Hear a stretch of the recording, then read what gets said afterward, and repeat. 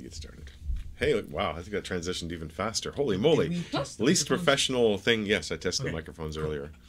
Least professional thing I've ever done is go, holy moly, at the beginning of my broadcast, which I think is a consistent feature. So, oh boy, uh, it's been a little while. Welcome uh, if you're watching and uh, either live on uh, twitch.tv slash E ENCAF1 or on youtube.com slash E ENCAF1, or probably I should have a few other uh, with my name on it. I'm Mark the Encaffeinated One. Uh, I am the GM and host of this uh, 5th edition D&D uh, spectacle that we're about to do, Legends of the Drowned Isles. Um, we're going to get started in a minute, but first, uh, why don't we introduce the players, starting on my left. Hi, I'm Jody. I play Clark, the uh, half orc fighting rogue, who's uh, gonna do a thing. We'll see if it works out. There are things involved. Yes. I play Elzara. My name is Murray. Uh, and Elzara is just kind of there now. Recently married a tree. You know, R- it's a druid thing. Yeah. Uh, I'm Pat. No one's quite sure why I'm here. Who knows? Well, Kuzaima, the uh, the uh, roguish uh, kobold, uh, yeah, Kind of went off. exit stage north. Up. Hey, I'm Nax, and I'm playing Zakis, half elf wizard, who is currently probably making really awkward conversation with Clark because Clark just denied the uh, teleport taxi. Also, the background is dark, and my shirt is dark, so I look like a floating head. Now a floating face. Now a floating head again. Okay. Uh, so you may notice we have uh, upgraded some of the backgrounds. We now have a roaring fire behind us, uh, which is ironic given that it always seems to be a little warmer uh, than I like it in here. But I'm cold blooded or something, uh, and we will continue to uh, transform and change things uh, over time. Uh, and if you have any suggestions, we'd love to hear them. If you're watching, we'd love to hear that too. So we're going to catch up on this strange homebrew campaign, at least in the last session or so, uh, to give you and myself and my players uh, a little bit of memory. Uh, this is from my memory, so uh, if you do have uh, a correction to made, please gently inform me and we'll put that in. But in the land of shadow, this strange realm of the undying, the group had found themselves, well, faced with a dragon an invasion by an ancient black dragon called G'V'Netta and her horde. Divided by circumstance, Clark and Ironbound, or Kuzaima, were caught between the hedge mage at the center of the grove, while a group of lizard men threatened from deeper in. Zakis and Elzara found wise, ways to fly to the front, where an adult black dragon, one of the brood, but not G'V'Netta herself, threatened the orb containing the seed. The dragon uh, shedded uh, lizardmen allies onto the field and cut down the elven druids who tried to put up a feeble defense.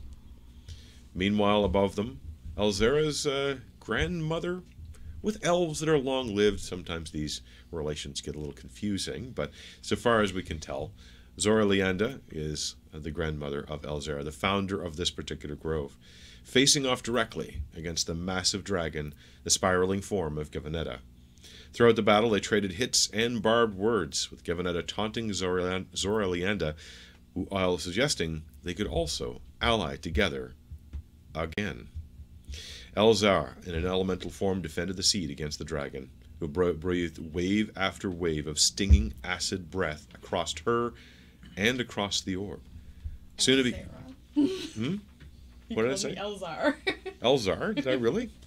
Who are you? Who am I? I kinda- I lost a syllable. Don't worry about it. Yeah, it's the fanfic. Elzar the Un- Invincible. Uh, Elzara, pardon my pronunciation. Uh, but it soon became clear that the dragon wasn't actually trying to avoid damaging the orb, but was intent on melting it down or making it at least exposed to the air again. Perhaps for the first time it had been released in hundreds of years in this strange place. The seed does become damaged through the process, however, and Elzara takes the seed and flies off into the forest. This is not all a linear recounting of what happened, it's more of a thematic accounting. Uh, meanwhile, the dragon's cry also had a strange effect on the giant snake, who was a servant of the grove. Against its will, it seemed to turn on the group, but was unable to do much. In addition, the nervous dryad, Radix, went down, but managed to rally and survive. Above them, the battle raged until finally, caught in the crossfire between several of G'V'Netta's brood, Zora Leanda seems to have been utterly destroyed. With her death, The magic which held the grove in a living state also vanished, leaving it cold and lifeless once more, like much of festering. Wounded, and feeling her fiance's soul attached to the great seed, Elzara found a space on the ground in the woods, cleared a shallow hole, and then placed the seed within. Within seconds, the ground rumbled and a faint glow came from the hole, and where the seed had been, an enormous tree grew. It surged upwards, displacing the forest of large trees around it like there were nothing more than weeds. Up it climbed, and then connected with the roof of shadow, but it did not stop then.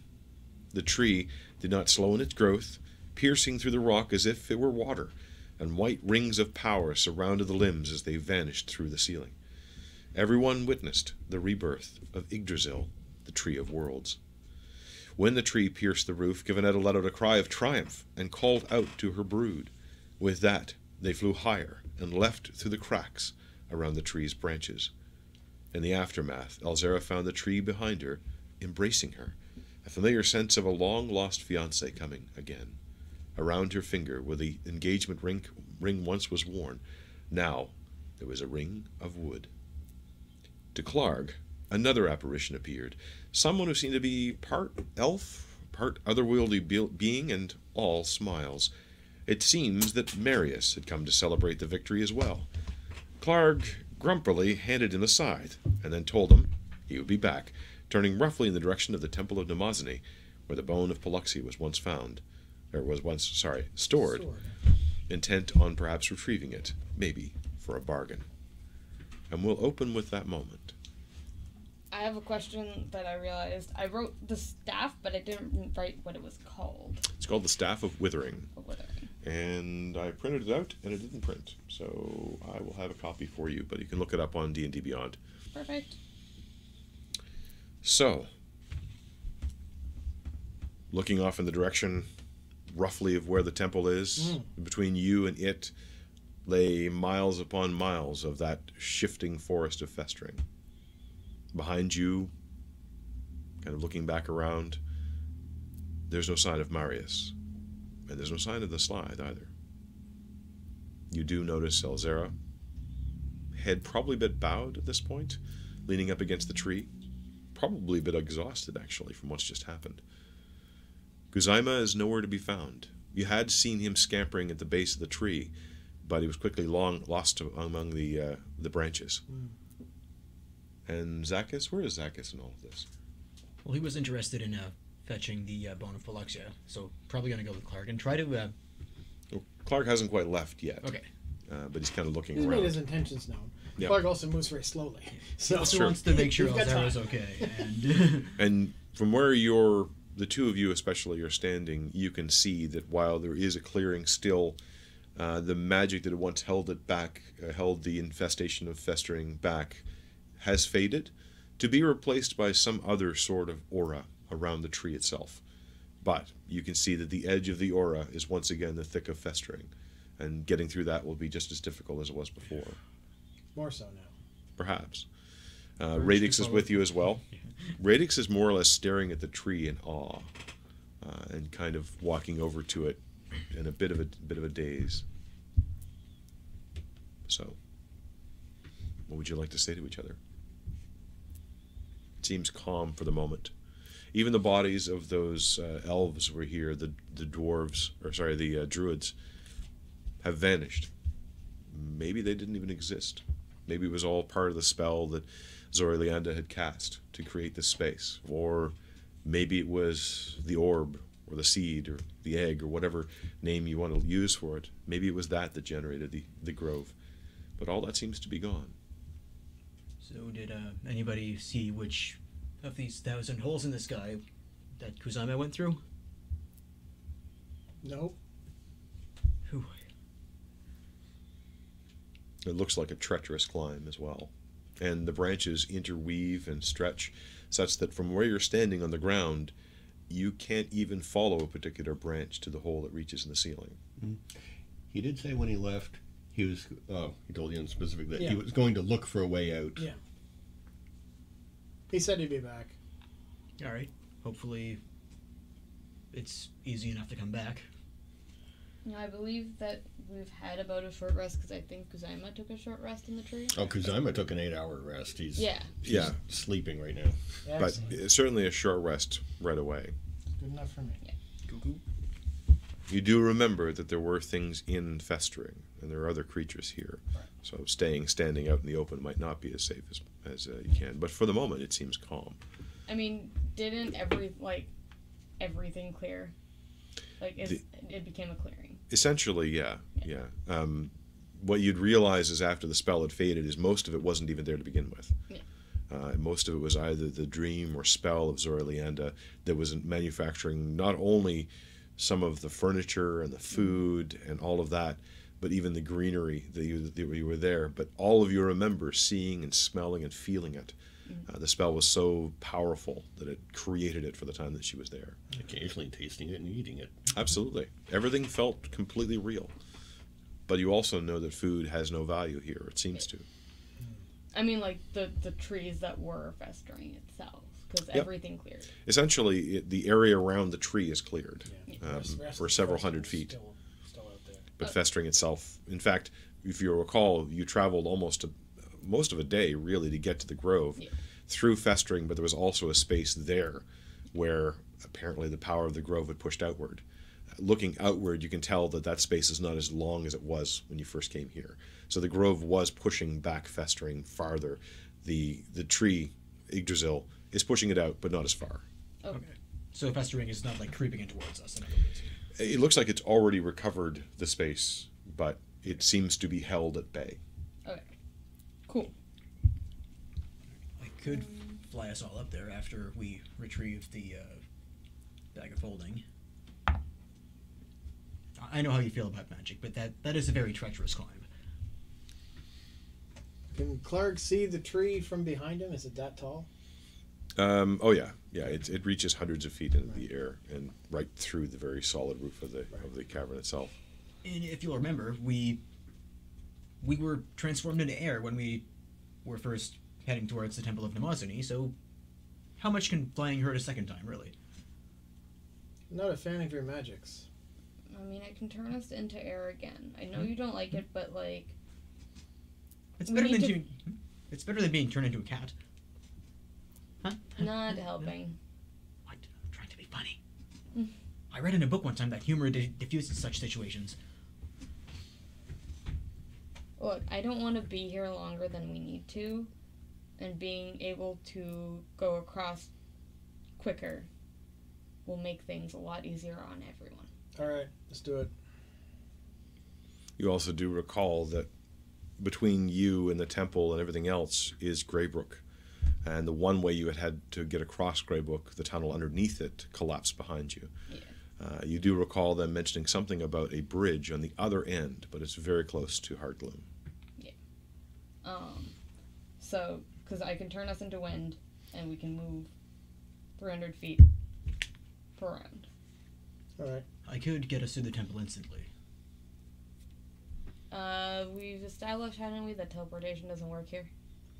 I thought. That- Uh, there are problems with it.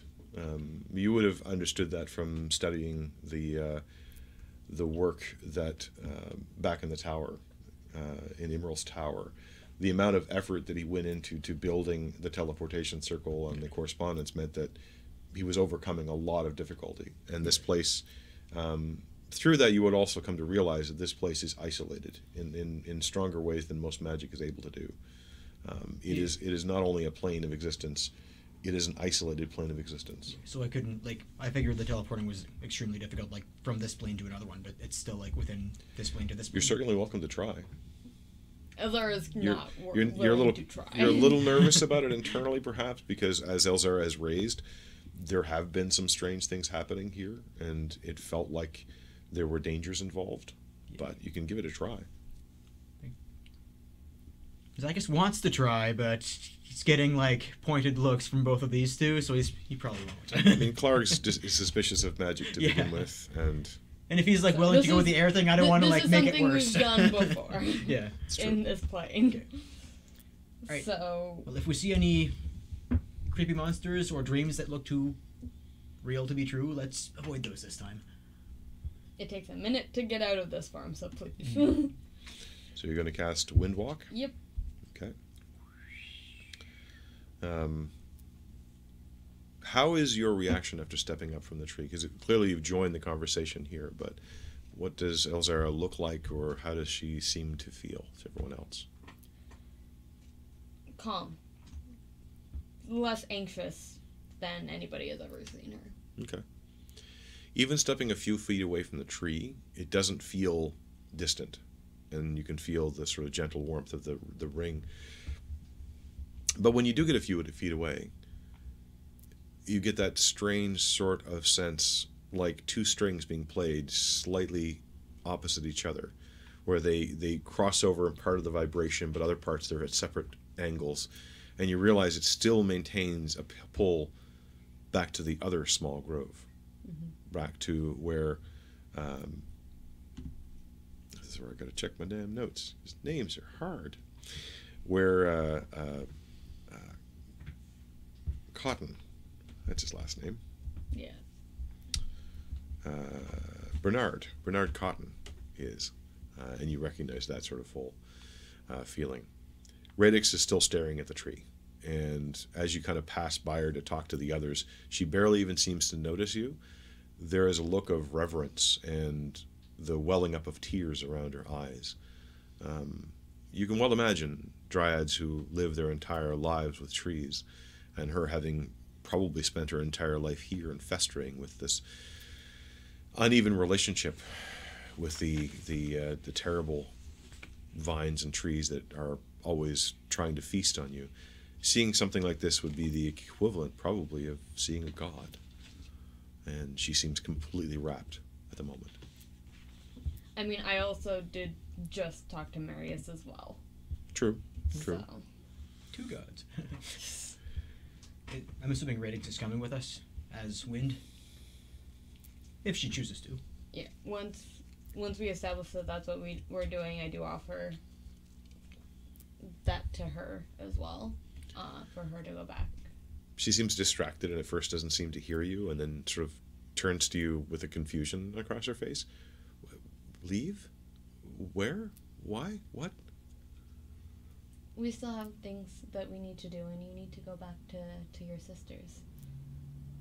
you can see this sort of look of of realization and also this deep sigh as her as her shoulders kind of bend down and she sort of realize, realizes kind of the truth of your words but at the same time the the glow of this tree in her vision is still strong oh It is still linked to the tree in the grove.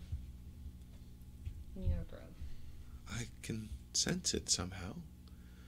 It's and she looks again up at the tree just sort of wide-eyed. And and even though you guys have moved a few you know even a, a dozen yards away from the tree it still kind of fills your vision in that direction. It's such a massive uh, massive tree. And you can still see that it's, it's still growing.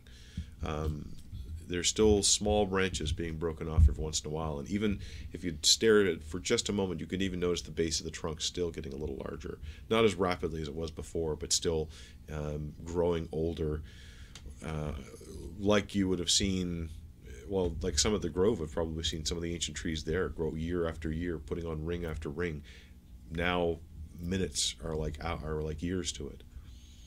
Um, but finally she she nods but i'll come back i'll be back You can bring your sisters Okay, you know where it is and now. Bernard to visit.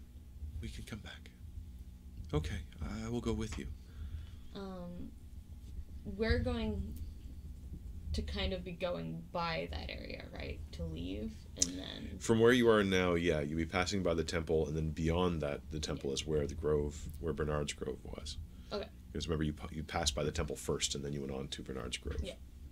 So basically, because she doesn't need to be stay near me for this to work, it's an effect on her. Mhm. So she could go directly home okay are you going to explain that to her if she wanted to. And that that's why I'm Okay. But what about all of you? I was tasked to be your guide. through you- festering. Do you not need it anymore? Once we're out of the festering, then we should be good. Oh, then I can go directly home. Yeah. And then you see What- her what- kind of light up a little bit. How does this work? So, I, I'll cast the spell on all of us, and then we think for a minute about becoming air, and then we become air. Oh. And then once you get home, you can spend another minute thinking about be- becoming solid again. Okay. I've never tried to think to become anything other than a tree. This will be interesting. It is. It's fun. You'll be able to go really, really fast. I'm ready. So, and I cast that, and I do ask her uh, if she wants to continue to stay with us until we're out of the festering, and then she can go back. That way, it's a little bit safer. She does want to stay with you until out of festering, yes. All right. You take the moment to cast the spell. What does it look like when Elzara casts this spell? Um. Since it, it takes a minute, it's probably not just standing still for a moment. It's.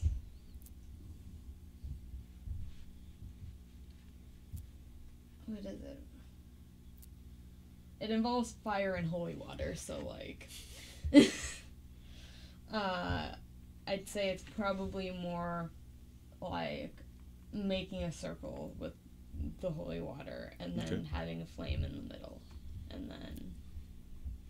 Something like that. Okay, so you move around the others and kind of spread the holy water out.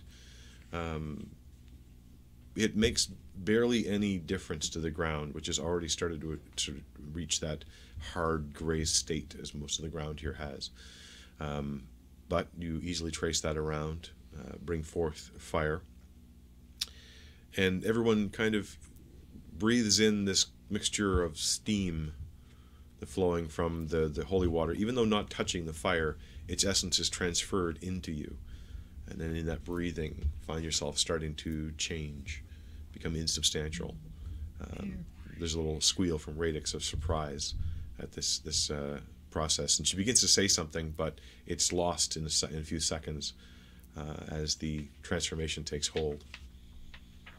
You each see the vague outline of one another now turned into something even more insubstantial than your, your air form. Um, it's almost unnoticeable, and nothing more than simple gestures can really be communicated. Even those are strangely blurred and almost after imaged, after image as your, your form shifts and shakes. And you begin to fly. For I will for a moment fly up to make sure that Kuzaima isn't somewhere in the tree. okay, Um, but make a had to- perception check. That's uh, 16. 16 looking at the tree it's it's hard to Oh, make out details um, you can move a little bit closer and as you do you start to see that there are small leaves now forming on the trees. The strangest thing about the leaves is the fact that they are not of a single tree. The leaves are vastly different. There's even some uh, pine branches that seem to be growing. As almost as though this is not a tree this is all trees. Almost as though this is not um, a, a living example of a tree, but the original tree from which all others sprung. Amongst there, you do see some motion. Uh, you make out the small forms, small from your perspective, small from the size of the tree, because that strange perspective problem of looking at something so large, that you realize are some of the lizard men you'd seen before, trying but having a hard time moving very far up the tree, uh, maybe only, you know, 50 feet at this point. Um, they must have snuck up while you just stepped away because you were at the very base of the tree. Uh, but they seem to be trying hard but not getting very far.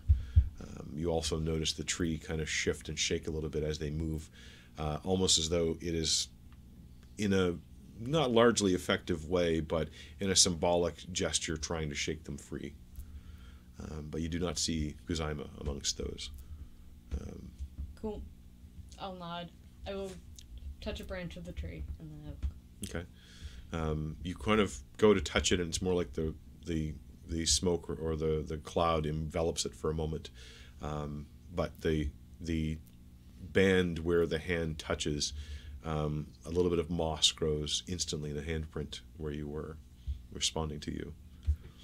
As you go up higher, and for Zakis and for Elzara, flying is something you've had an opportunity to do a few times. For Clark, it's still new. It's still unnerving.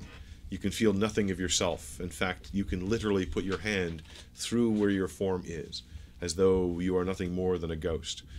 Um, it is bewildering, bewildering, and also probably somewhat unnerving, because you also know that you cannot strike a thing if you are not a thing yourself.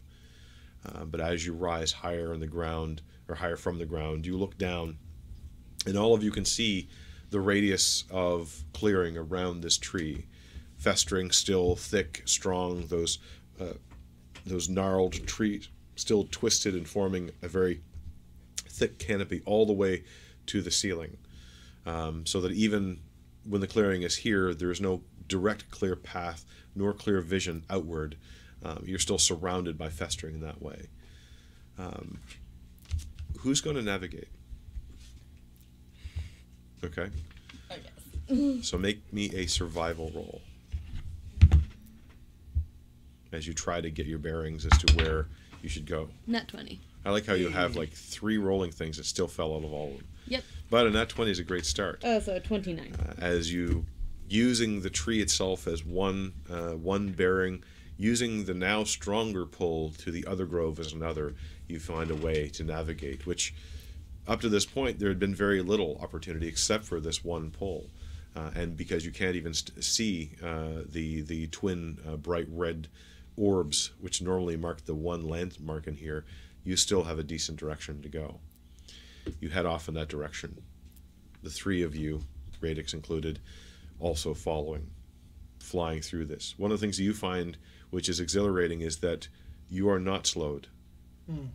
Despite how slow your movement had become on ground, it seems to have no effect in this form. And for that exhilarating moment, it is that part seems to be restored. You head into and through the festering woods. At this point, the woods are once again overgrown and thick, not something which will cause any harm to your your physical forms, even though you do all notice that festering reacts, that the the vines and the spines try as as much as they can to try to to uh, to connect to you. So they, it is aware of you. However, it's very difficult and very easy to get lost. I would like the two of you and also for Radix to make a perception check to watch where she's going. She's the only one who actually has a direction. Natural one. Clark is lost.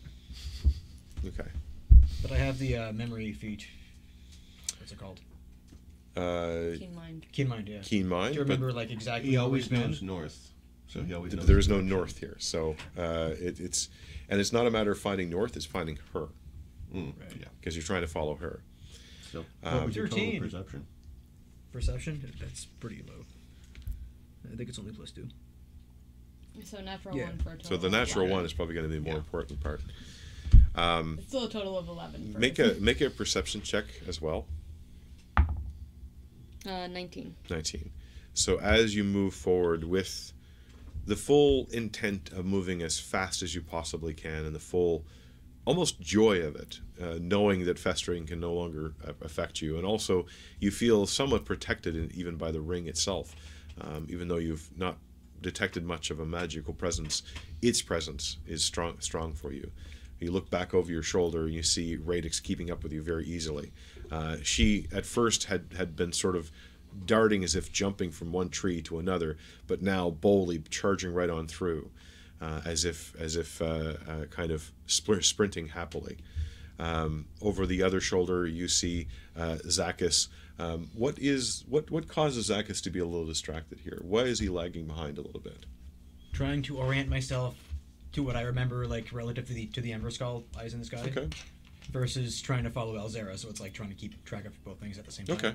You have this nagging sensation that the Ember Skull should be right there, but I can't see anything.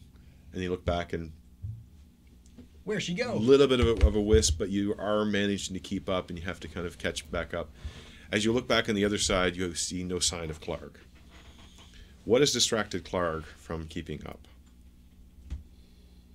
Probably his thoughts. Okay. A lot of stuff rolling around his head, so he probably uh, veers left at Okay. some point, then looks up and uh, where'd go? So as you're moving along, and again the the might of festering is trying to bring itself to bear to hold you where you were, and a little bit of instinct in trying to dodge around it that goes away as you find it ineffective towards you. But out of the corner of your eye, there's a shape that it strikes suddenly, and was that your sister's face that you saw? And so you veer off in that direction, um, trying to find that. Uh, but you've noticed now, uh, Elzara, that you do not see Clark. And you Um, quickly look around and realize you don't recognize any of this. And I you do not see your sister's face. well, shit. Um, I'm the only one who can navigate in this area. So. You feel confident about it, and you've got those bearings now that make it easier. Yeah.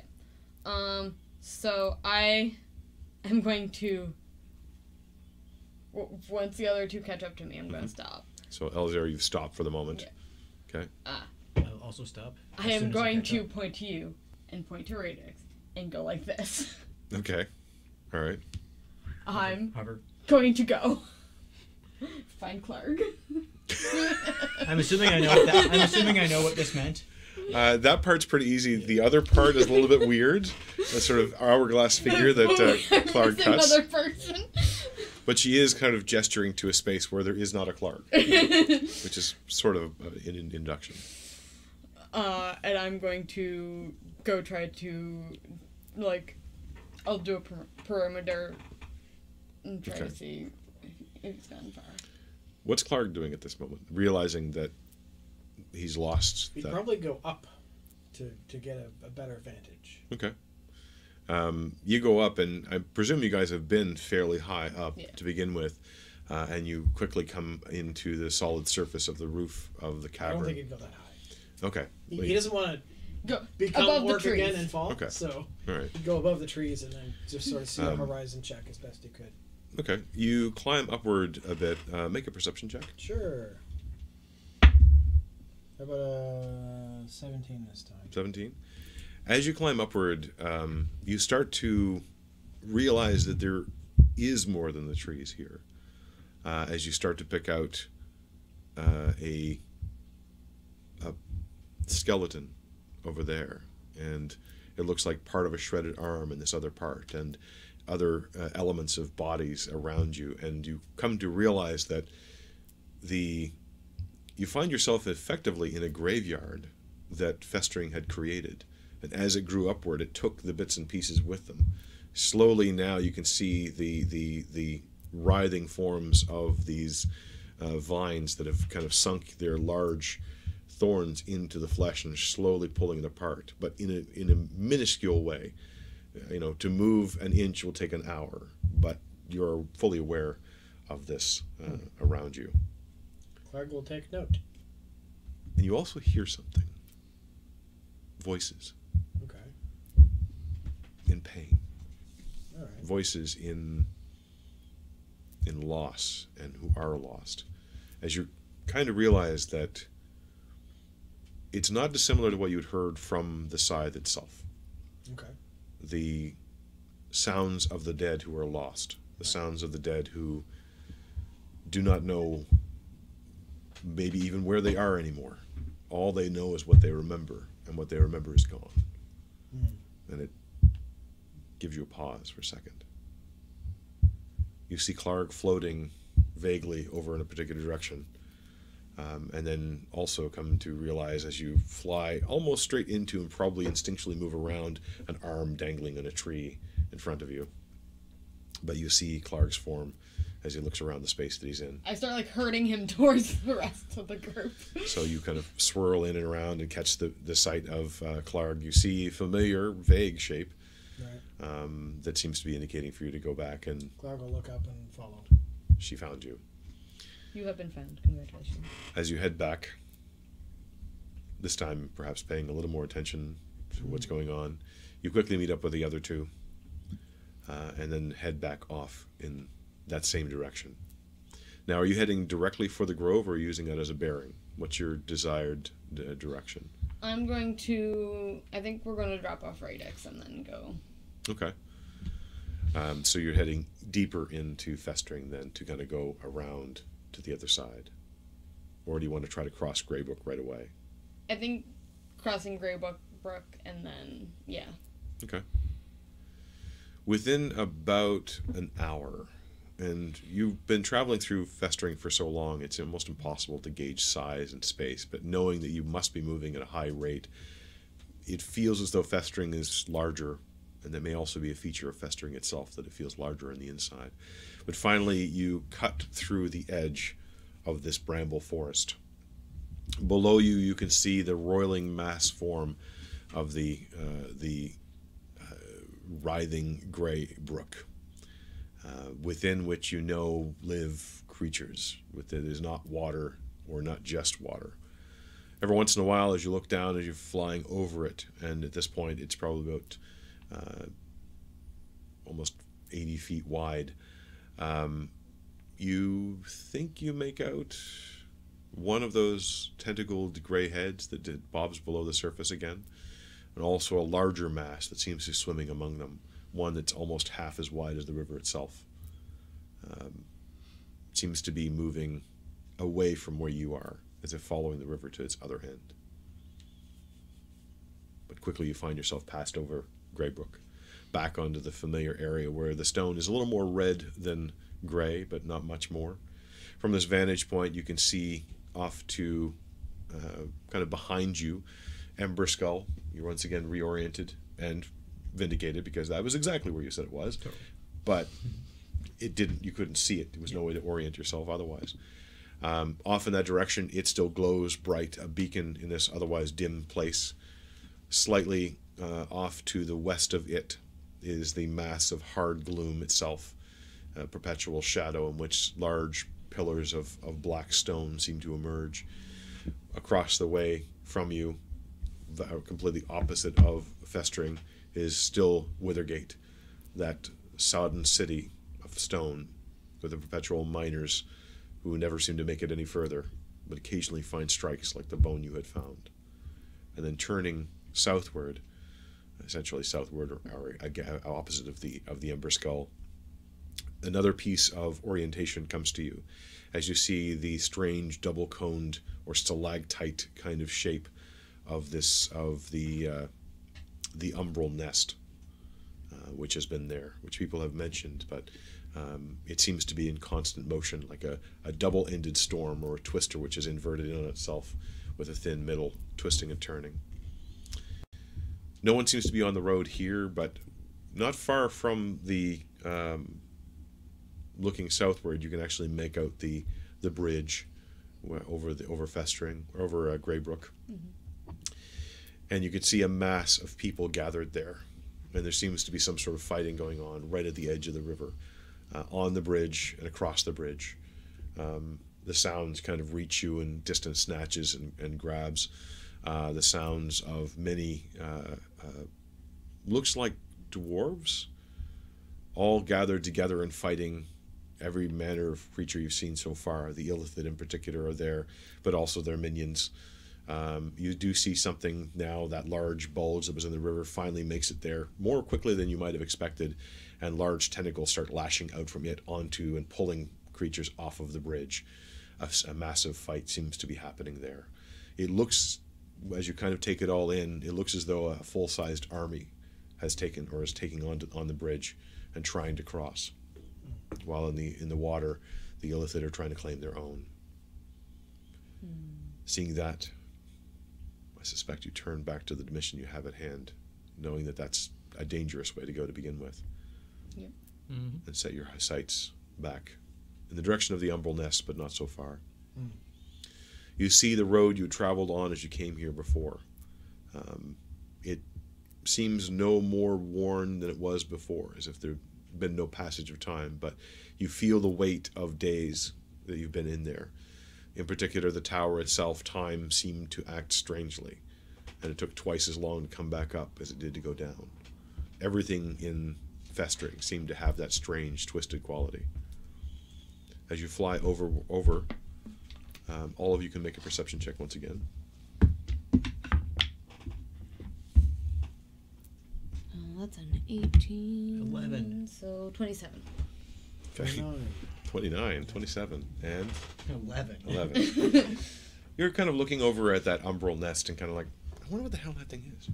As it sort of twists and turns, every once in a while, a, a, a, a, a, a tendril seems to reach out uh, from it and gather some small wisp of smoke back into it. But it's very far away from here. The two of you, however, taking in the scene, uh, look back down to where Festering is, at the edge of the Greybrook, um, you actually see uh, uh, the launching of several ropes from higher up in the Festering that are launching down and uh, attaching themselves on the far side of Greybrook. Uh, they seem to be almost harpoon-like launches, but more forceful. After five ropes go down, uh, you see a group of uh, of lizard men sliding down the ropes and crossing Greybrook. Uh, one is a little too close to the bottom, and you see a tendril reach up and grab and yank him off the rope. The rope itself goes twang, holds barely, but the next person decides not to go on that rope.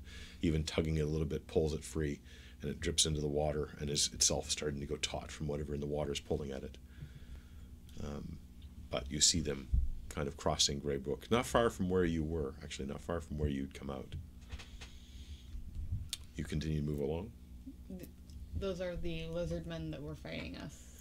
Seem to be the same ones, yeah, or at least similar. Um, Am I still looking at the uh, umbral nest, or am I eventually following them again? Uh, you you notice when they move and make rapid uh, motion to catch up. What? Well, yeah, it's all it comes out. Unfortunately, is the wisping, wisping of the wind. um, now we need to get Radix back. Okay. You fly on further. This time, what took hours upon hours is taking nothing more than a few minutes. Um, swiftly, how high up are you flying? Um, I'd have come like down to like halfway up a tree. Okay. About. Okay. Anybody uh, who would be traveling along here, not that there is, but what they would only notice is the wisping of the wind, a strange breeze that seems to come in in four uh, small bursts and then is gone again, blowing up a little bit of dust but leaving nothing else behind. And as you crest the hill right before the Temple of Mnemosyne, um, you can see it now, and it looks different. Whereas before, uh, it is the, still the same shape, a squat, squarish building with flat walls. Before it had had a little bit of a dull appearance to its outside. Um, it was white stone, or appeared to be white stone, but almost as though it had been been uh, graying for a long time. But as you look at it now, it almost seems to glow. It seems renewed and strengthened. It seems as though the um, I have a bad feeling about my bag of holding. the life or the energy of the place is is returned. It could be because of the tree. and voices start coming to you. As you notice there are two people. One on the threshold of the door. One you remember very well uh, the small speaker orda who helped defend the temple with you before. But the other is considerably different. Uh, standing before the uh, the temple about 10 feet away um, somewhat angrily gesturing at first indistinct voices uh, you see what looks to be a woman um, standing about a little over six feet tall. Um, you see as she angrily gestures from time to time the flexing of enormous wings on her back uh, that seem to be of a dull red. And as you come closer and hear a little bit more snatches of the the words, uh, you hear. But when are they coming back? It's important that I speak to them, and that we deliver it. And Orda seems to be suggesting, I don't know. I don't know if they're ever coming back. But I don't think I agree with you. And that's what you see as you crest over. It seems to be an argument. It doesn't seem to be entirely violent. And while you can see a large sword strapped to the back of this strange creature, it's gesturing with its hands. It's making no motion to do anything dangerous, at least not at the moment. And Orda doesn't seem to be concerned so much as just. How would I put this? Talking. Okay. Can I basically like sit, like not at the edge of the building, but like this is the door about here, and just listen to what's going on? You certainly can. Just- I'm definitely listening to what's going on. Okay. How about Clark Clark? would look to go between them and into the building. if Okay. possible. All right. Um, for the two of you, uh, make a stealth check. You get advantage because you are basically invisible. You're not impossible to see, but somebody might see something. Mm, Twenty-one. Okay, or maybe not. Twelve. Okay. As you kind of take your your wid- winding forms and kind of go over, uh, Radix is sort of staying back. She doesn't want to get that close, uh, kind of hunkering down, kind of behind that. If you remember, there was a rock sitting on the top of the hill, which provided you cover the first time, where Orda, where you actually ran into Orda as he was trying to get back into the temple, uh, and kind of finds uh, herself hiding there as you dash inward.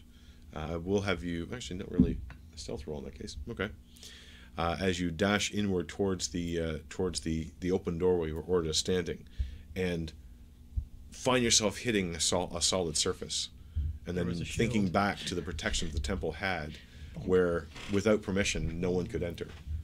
Um, but you come essentially face to face with Orda, who looks up and is trying to figure out your shape.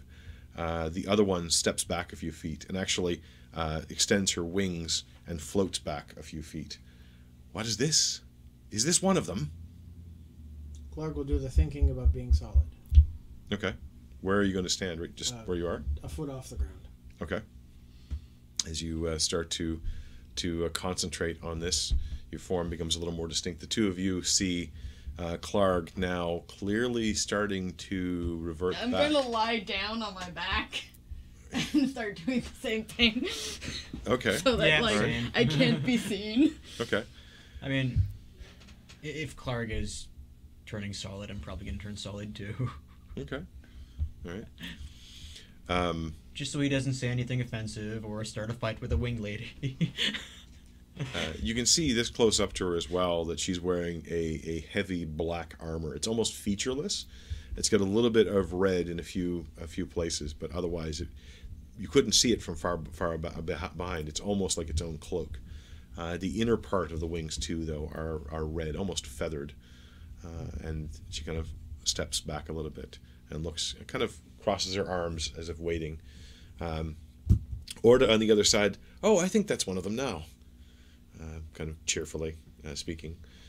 After about a minute, um, you have come back to distinct form, and Orda has now confirmed. Oh yeah, that's one of them. Uh, he seems cheerful, um, and you can almost get a sense as your physical form starts to come back um, of almost this radiation of of uh, of light or energy or power coming from the building itself. And he seems to be completely calm, uh, almost like I said, almost happy. Uh, whereas on the other side, the thing that uh, has been confronting him uh, looks impatient, uh, and uh, you can. Uh, no, she does not have a tail. Just remember that. Um, but uh, seems to be uh, waiting for this process to end. After that awkward minute in which nothing can be said, you find yourself coming to solid form and dropping down a foot to the ground, uh, and catching your yourself. Are you doing the uh, superhero stance and going down three, Yeah. three points? No, okay. Um, it's like he's stepping off a stool. On the other side, it will have both of you as you come back to physical form also do another stealth roll. This time you do not have advantage. I'm not trying to hide anymore at this point. Okay. Well, So yeah, man, that would have been a 17. That's an instinctively 18. you've kind of put yourself around the corner of the building. I mean, I'm, I'm lying down on my back. Yep. Yep. Mm. All right. It's how an loosely like air shaped makes a face bomb. Is that it? Uh, the woman turns to you. Are you one of the bearers? Did you carry it here? She seems to have started in the middle of the conversation. Who are you?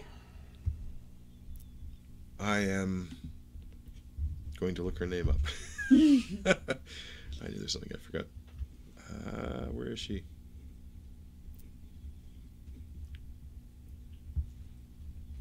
I am known as Arkaxix. If you want to write it down, it's A R K A X I X X. Whoa, whoa, whoa! I totally spelled that wrong. A R K A. And I come here on behalf of my lord. Who is?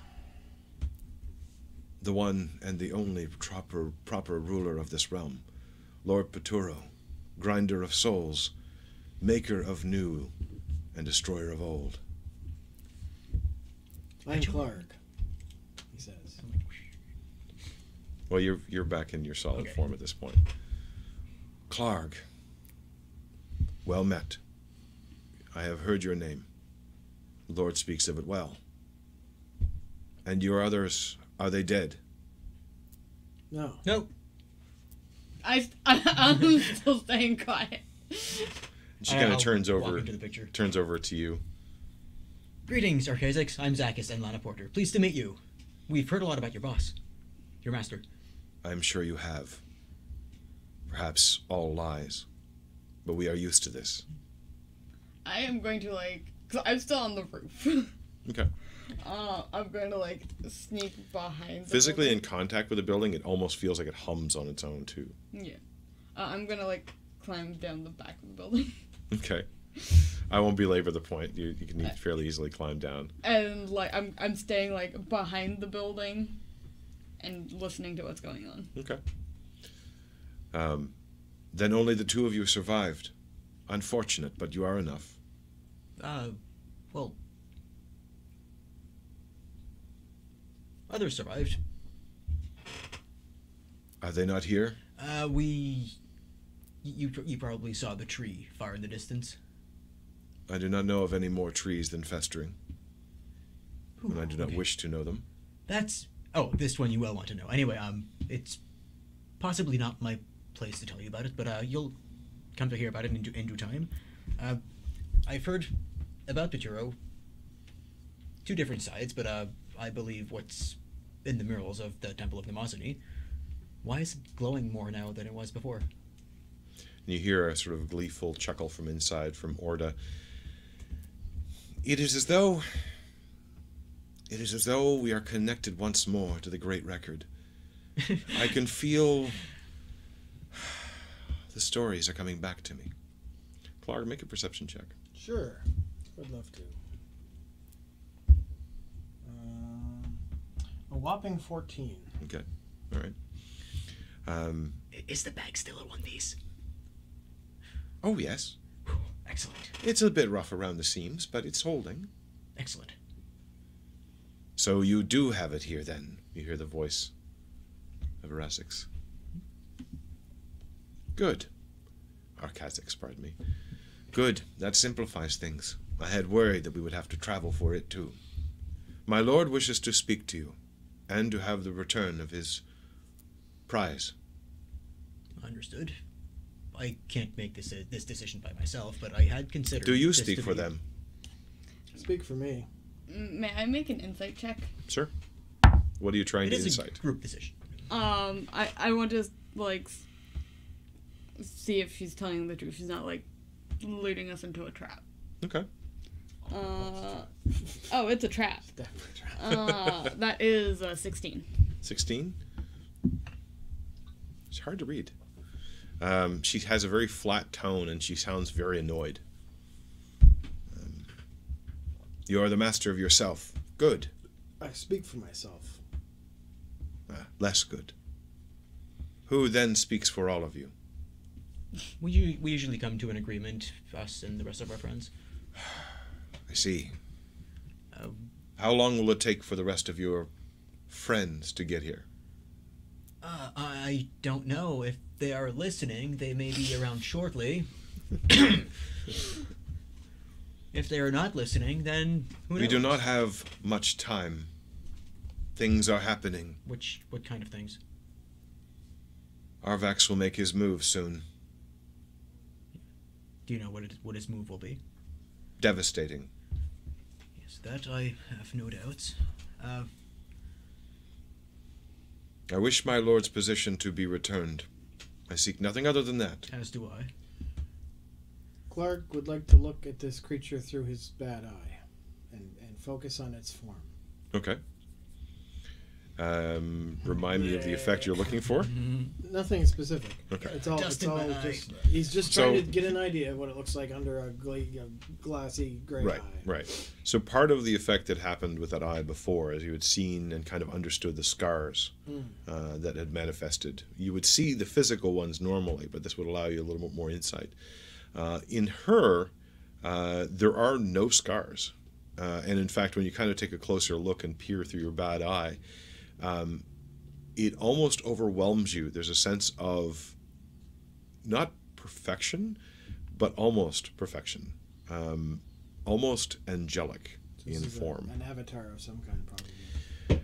It would be a reasonable guess. Okay. Um, this seems to be a messenger at the very least, but much, much more than that.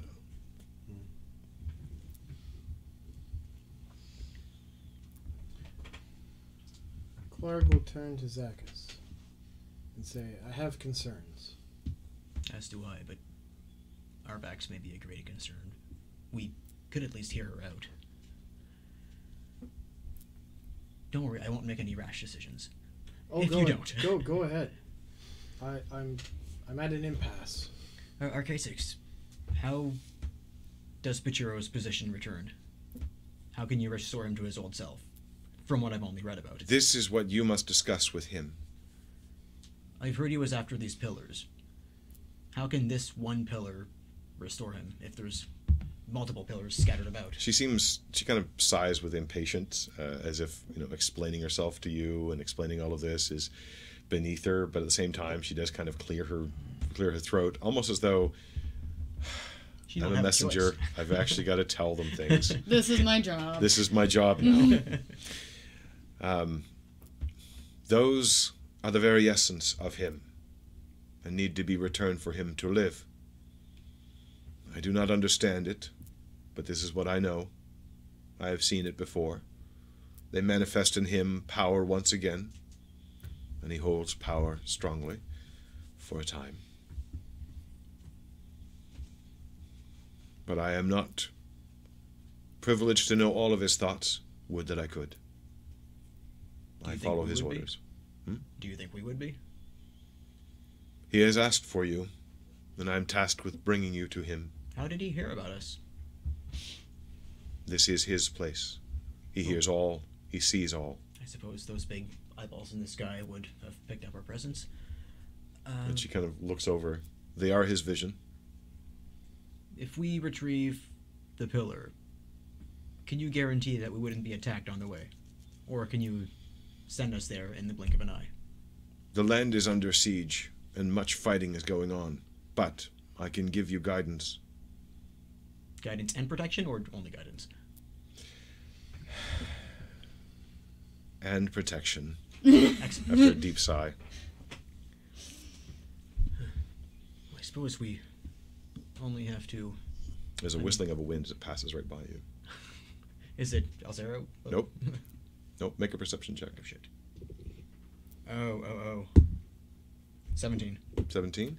You only catch it for a second, and there's this sort of crazed and upset look on Radix's face as she passes right by you, but seems not to stop for you, and seems to spin around the building uh, until she's standing, floating in front of you, still in her wispy form, gesturing, but and also trying to say something, but apparently not able to say anything, and not really realizing that was part of what she was doing, Uh, where is she gesturing to? gesturing to you. To me. She's kind of flown around. She kind of saw a, a, a glimpse of you, specifically you going to, not the two of them, and kind of darting around this strange creature. Um, but now, where whereabouts are you exactly? like, Still in the back. the yeah. the. So she circled very quickly in that form. You can travel extraordinarily fast, uh, and then kind of found you to, to hover and excitedly is, is saying something. There's a concern on her face, but it's hard to to read. Uh, I'll go. Focus on me. Make a persuasion check. Oh, oh, oh. No. Okay. Five. for the moment, she still seems to be too caught up in her own words, and is, is reaches out at one point to try to to grab you by the shoulders and shakes you, and just the hands kind of float up, float upside inside you. She looks at her own hands and is just sort of gesturing wildly, and then like you can't quite interpret why. Solid. Did I notice any of this? Because I, yeah, I- You you that's- saw you saw the wisp, and you saw it dart around the side of the building, um, but didn't really stop for you. Other than there, there was that sort of freeze frame you get effect as sometimes in movies as this quick thing moves through, and you got like look a, a glimpse of her face, kind of like distraught, and then she's moved on already. Because effectively at 300 feet per round, you're a speedster at that Yeah. point. Zoom. And she kind of looks at you, nods, and you can see her kind of looking like she's trying to hold her breath, and then not quite sure of it, and then grasp, grab, grabbing her, her hands, and then closing her eyes and putting her head down. Um, but that minute passes slowly. Meanwhile, out front, Well, I think it's worth hearing him out. He will take our offering, whether we want to give it to him or not. That's what I'm kind of worried about. But if he knows we're here, it is his to do with as he wishes. he is supposed to grant us a favor in exchange, according to what we've heard. He could just send us home. We wouldn't have to play uh, hole in the sky roulette. I mean, uh, you know, you know that the thing. Clark would like to take a moment and flip a coin Okay, uh, over the issue in his head. In his head. Okay, Well, he'll physically flip a coin, but he's going to be thinking A or B. okay. All right then. Um, Clark uh, flips dragon. Okay. And decides right. And he turns to Orda and says, "I need access." Um, okay. And he concentrates for a second. You're welcome, friend Clark. Clark will Yeah, pass pass through that best he can. that strange wobbly barrier once more and find yourself on the inside. Remember, it's Uh, it's maze like in there. It feels that that sort of sense of, of the humming that you were getting as you were getting closer feels even more strong. And what's the strangest of all is the fact that it's brighter on the inside than it was on the outside. In other words, while you would expect as you move into a dim hallway it to be dim, there are no shadows here. It's almost difficult to find the edges of the building itself. Uh, something you've seen a little bit as you got deeper into the temple last time, but is now right at the very surface of the temple. Clark will sneeze. Okay. Cover his eyes. All right. Try to find his way to the bag. Okay. So you start to wander through. Um, meanwhile, you're kind of standing there looking at her, and she's looking impatient at you and back at Orda. I think he's going to fetch the package. I hope so. My time should not be wasted on waiting. And you get that sense again that she's probably been here for a while uh, as well. So, uh, for how long have you been here? Waiting. Time has no meaning here. It's even more meaningless when wasted. Well, I don't disagree. Anyway, he'll come back shortly. Uh, Orda, if you just go in and get him if he gets lost, which Oh, I'm sure he'll get lost very quickly. It's what's meant to happen. Uh, he seems again kind of happy and kind of jolly and unconcerned about the things. And as you stand a little bit closer to this strange creature, you get the sense of of power that she exudes. That she's not just a messenger, um, but she has shown no malice toward you at least at this point. do you know what Arvax is planning? No, Baturo has told me little, and I have not been able to scout in that direction. I have been busy looking for all of you. You Well- have moved. That's the first part of the mission accomplished. Yes. You've We done have- something. We have faced this cult back in Vatur over a year ago. Arvax, that is. I do not know of this place. Okay. Well, maybe you can visit sometime. That would be delightful. Tour guide. Meanwhile, in the back, Radix has managed to finally calm herself enough. And the first word that she says is, They're coming. At least five of them. And that's where we're going to pause for a moment. Meanwhile, Commercial break. meanwhile, in Vaterdren.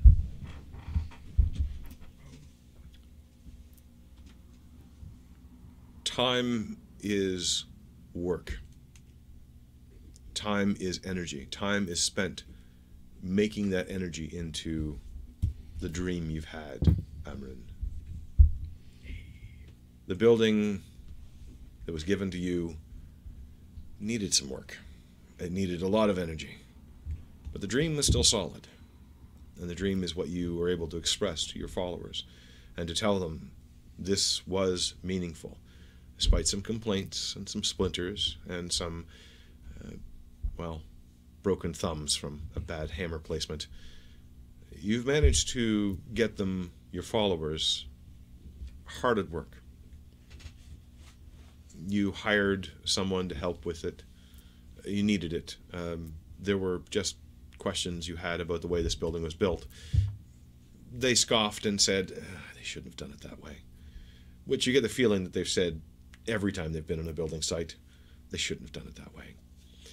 But after about uh, four or five days, seems like most of the holes in the roof have been sealed up. At least when it rained, it didn't seem to pour inside anymore. Not that you kind of minded, because the water itself seems to remind you of Paluxia.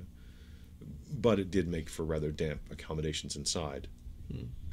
After a few more days and the wind picks up, you start to find all the holes in the walls and patch those as well. You've been attracting some curious onlookers during this time. Councilman, Councilman Woodcombe dropped by, Alistair, to see how it was going, to give you some positive reinforcement, to let you know that he's very happy to see what you're developing here and wishes you the best. I thank him. More surprising, perhaps, and saying much less, is the Namazni priestess, Mizana Vahana, who drops by. She inspects things, looking around, nodding to herself. Again, not saying all that much, um, I thank her for her visit. but she, she turns to you and looks seriously at you for a moment. You will do good here. I hope so. Our memories will record this. I nod. And she kind of leaves almost as as silently as she came in. Meanwhile, one of your grand tasks has begun. A bit of time set aside each day, away from the curious questions of all of the people who've come, away from the followers who keep coming back to you, wanting to be told what to do, wanting to be instructed. A little bit less every day. And then you come to realize that taking a sort of lieutenant role, Catherine has been trying to organize them a little bit and spending time with them, which worries you somewhat, but you're not quite sure what the plan is. But that great work that you've want, wanting to do, the central part of this temple, a statue, a uh, fountain, a replication of the great fountain that you had found in the temple uh, beneath the stone, the Serene Temple, but on a somewhat more modest scale, at least to start with. Each day, taking some time to meditate on the vision of Paluxia that you have, how you believe she should look, how you would like to pose her. Is it a, strict replica of the pose that she had there with the open hands and the, the water to be flowing from it, or Mm, No, it's the one I picture I showed you where basically she's holding on to like almost like a circular disc okay? uh, that the water then comes out of. Okay.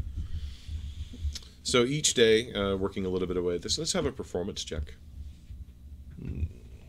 to sort of assess as you take some time to slowly sculpt the stone, a little bit at a time. No, I should have used the other one. Feel That one's a nine. Okay. It's difficult It's crude. while you know the effect you're going for and you have the power to move the stone as you will. Um, the first few days, while you carve off the right shape, you're still having difficult with difficulty capturing the essence. Um, maybe it is you might think to yourself a little bit the fact that you're trying to capture the essence of a god, an almost indescribable being, or when you're in your more realistic moments, I'm just a crappy artist. you artist. just haven't done this before, and it's going to take a lot more work than you expected. Um, after a couple of days, you well, about four or five days, you um, sort of step back from everything and think, huh, I haven't uh, heard from Elzara recently. She was starting that project to try to renovate a grove, an old grove. After asking around for a while, no one seems to have heard from her. It doesn't take you too much to find the space itself. In fact, a, a small trip to Alistair himself will let you know exactly where it was. He was the one that helped arrange for that to exist, And everyone is very nosy.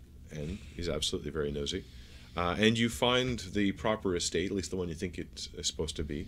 Uh, it's still very large walls around it, but the gates are somewhat ajar. There's lots of plants. This is a Good start. place. It, it's it's overgrown and um,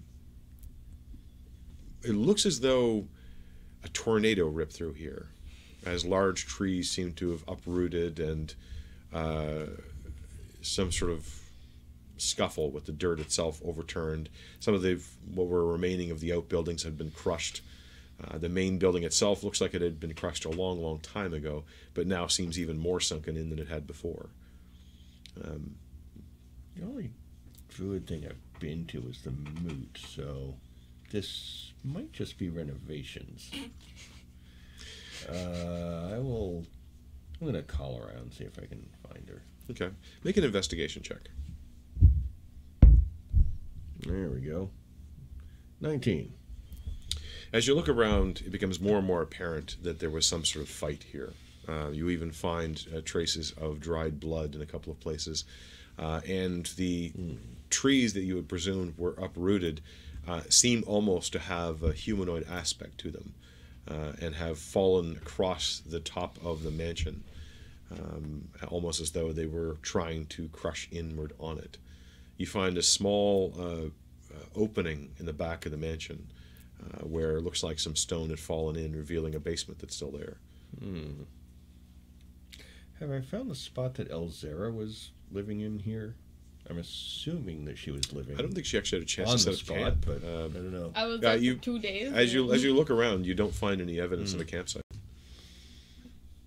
Hmm.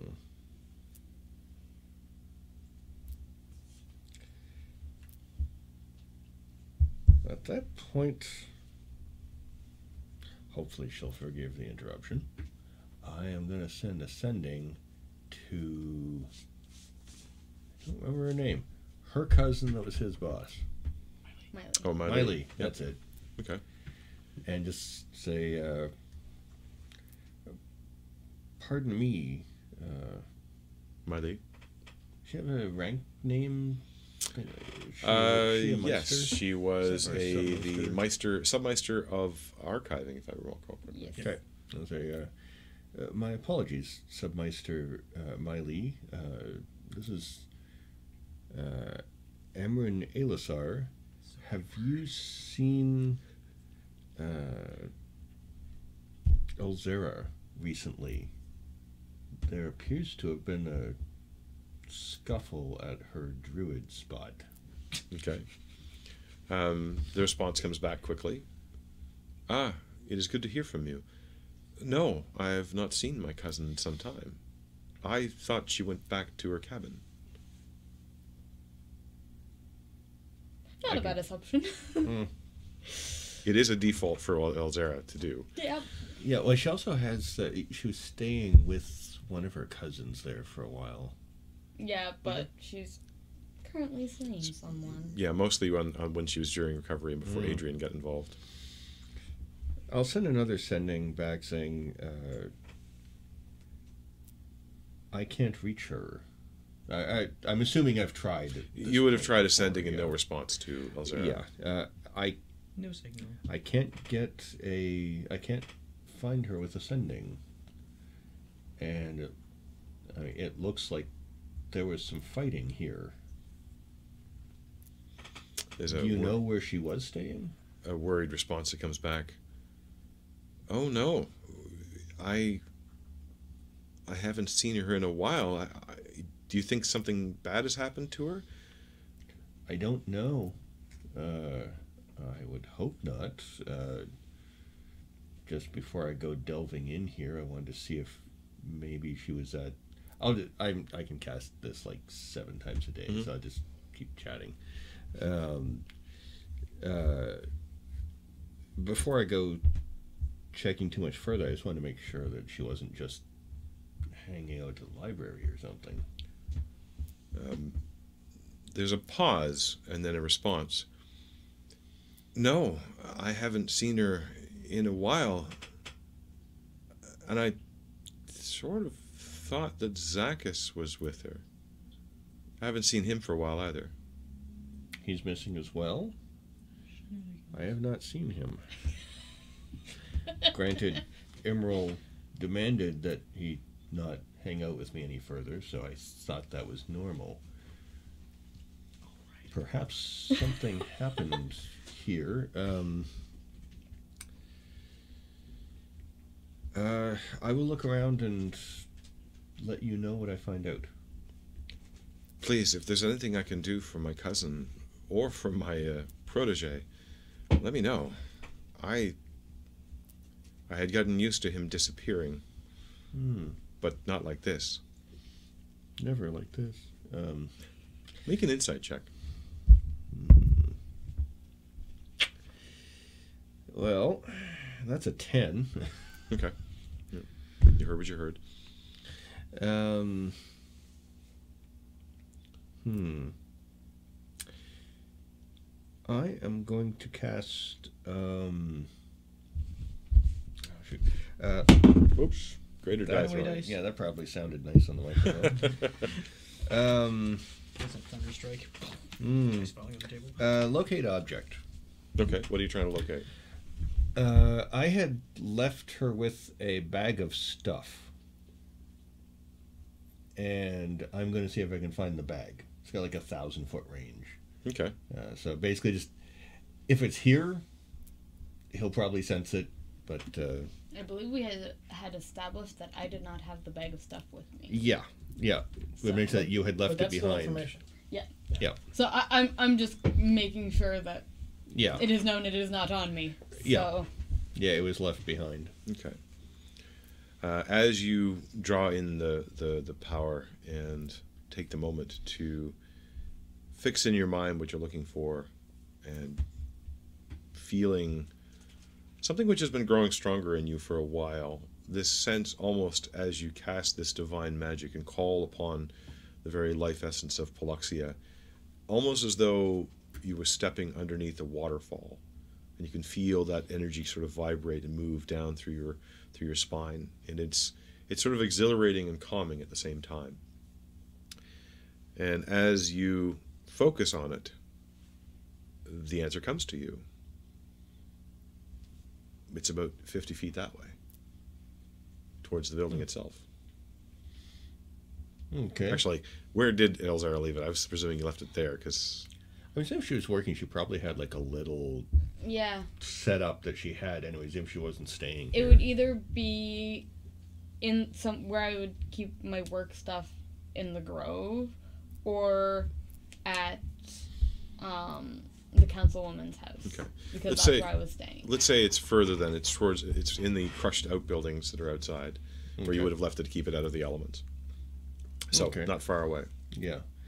Um, okay, I'll go over and check there. Uh, see if, like, if that's there, I'll pick it up and if there's check if there's anything else. it takes you a moment because the building itself has been crushed inward hmm, uh, it probably wasn't before uh, but the bag seems undisturbed and just sort of sitting there um, Hmm. Okay, I'll pick it up. Is there anything, any other sign of her in this building?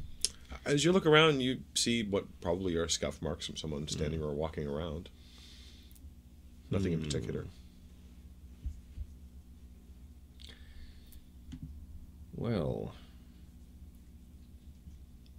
um, I'll assume we've got like one sending left. okay uh, and I'll send to Miley. Um, I found some stuff I'd left with her. Uh, I'm going to check in the ruins of the house. If I disappear, or if you don't hear from me, then that may be where she disappeared as well. Okay. Um, she sends back. Now you have me worried. I hope that she's all right. If there's anything I can do, let me know. Those are my last ones, rather. but- Okay. Uh, and yeah, he'll go. He'll uh, find that hole into the house again that he saw Okay. and start careful. Actually, first he's going back to the church and he's picking up his adventuring gear because he doesn't know what's going to happen. because he doesn't doesn't want to be stuck like us. this he doesn't want the house. Well, if the house collapses, he's going to need some way to survive for a while and whatnot. So he's just getting all of his old comfort stuff for from Okay. adventuring. Um, uh, and one and his armor as well. There's some some looks as you kind of go back, and there's some questions that come up to you as you're walking in. Uh, Otnil, um, the uh, the one who kind of wore The the ropes before, yeah. uh, kind of looks at you, but then thinks better Well, of asking w- his question. Well, yeah, I will talk to them. Uh, Well, he he kind of looks I've- at the sort of the the, the can do Yeah. attitude you have at the moment. He figures I'm not going to uh, interrupt. Um, you find uh, uh, Catherine and Galen, Galen Stevens, who is the merchant's son, uh, whispering to each other quickly over in one corner, uh, and who kind of stop noticeably as you pass by. Uh, Catherine just sort of smiles and waves, and Galen looks satisfied, smugly almost. ah, hello, Catherine, Galen. Uh, you look happy. Uh, he begins to answer, and then Catherine kind of interjects, "You look like you're busy. Going somewhere?" Hmm. Thinking about it. Then he doesn't say uh, having second thoughts. It's like, crap, what do I do? Well, just Um, know that this will be all in good hands. Your people are doing very well, aren't we all? And she kind of realizes her slip, and Galen doesn't seem to notice. Uh, By the way, says Catherine, what title did you ever choose for yourself? I mean, I'm ha- happy with calling you Amrun, and so would Galen and the others, but it sort of feels like we should have some sort of official name for you. I actually did some thinking about that, but I don't remember what it was. um, Memory rate. Amrun is good enough as it is. As you wish. Once we're more established, we may think about such things. We'll we'll put our minds to it and see if we have suggestions. Right, Galen? Oh yeah, I'll be thinking about it. I'll make an insight check Sure. On what? on them acting somewhat suspiciously. Mm, I mean, yeah, sure. I mean, I know about Catherine. Mhm. I'm always suspicious of her. Just a Um, fact. Yeah. And you also know that she likes to feed into that to keep you off your off your toes. Mm-hmm. Natural one. Natural one. Oh no. Um, nope, things are good. No, it's not that. It's more of um, I think Galen's in love, and Catherine seems to be okay with this. That's, well, yeah. Dude does not deserve to get eaten in his sleep. Okay. Uh. Hmm. Well, uh, we'll talk about this later. Uh, I have uh, some things to uh, think over. Oh, of course, we want to keep you from some important business. Um, he will get his stuff packed up, but he's Okay. going to go out to where the the uh, the statue and fountain is being worked on. Okay. As you turn to leave your room, standing in the doorway um, is, in her usual uh, garb, uh, Excellence, the tiefling, showed up in uh, kind of uh, almost half blight. You get the impression that she inherited more than she bought. Uh, but she's standing there and she has a puzzled look on her face. I have questions. Follow me, Will there be answers? hopefully. And she turns and follows you. What are your questions? I do not understand this. What in particular? And she takes a big breath. I do not understand any of it. How are we to follow uh, a, a being that does not tell us what to follow? How are we to know if what we do is right? How are we to. And she starts laying off of like the, the top 10 theological questions a newcomer has. And uh, it's clear that she's frustrated and very confused. Well, uh, I say to her, a lot of those are going to require a lot more discussion. But, yes, I'm ready. Uh, yes. Uh, perhaps that should wait until some point when we can all get together. I suspect many people have these questions. She looks a little sad. They do not seem to have as many questions as I do. But the first thing I think that you need to think about is you want to know what we should do, correct? Yes. Knowledge is the opposite of belief. Oh, We do. I do what I do because I know it is right. and you have knowledge. Yes, but I believe is what Paluxia wants me to do. I do not know. All we can do is do what we believe she wants us to do. But how do we know it if we have to believe it and we cannot know it? Well, my own personal thoughts on the matter are that if we were doing something she didn't want, or at least if I was doing something she didn't want, she probably would not let me continue doing these things. Ah, so she will stop you from doing bad. I believe so, but I don't know. That is. You know.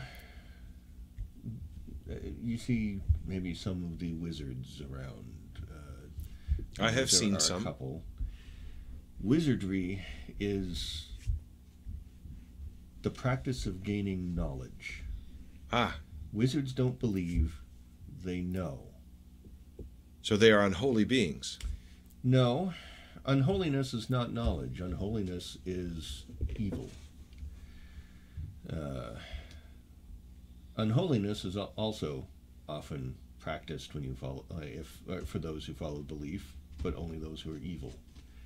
Uh, knowledge and belief are not separate; they're simply different. To follow But one can cannot have one if one has the other. So they must be opposite. they are in the Venn diagrams of the universe. They're not circles that mix. No. You there can are have circles. yes, you can have knowledge and you can have belief, but you are correct. Not about the same thing. Once you know, you don't need to believe. You get the sense that she's earnest in trying to understand, but she's having a real hard time and Mhm. seems apprehensive, um, almost as though she's a little bit shaken. And you realize that it's going to take a lot of time. Mm-hmm. Um. Dang it! If only I can remember his name. Um. You thinking of Damon? Nope. Uh, nope, nope. Uh, oh, got it now. Um, there are things I have to do right now. I'm working, of course, on the circle and trying to bring uh, Damon ask here. He is far more experienced with these questions than I am. I like your but, statue. It is not finished, no. but it weeps. And you stop. You haven't quite made it the statue because the questions have been going on. But as you pause for a moment, you hear the sound of running water.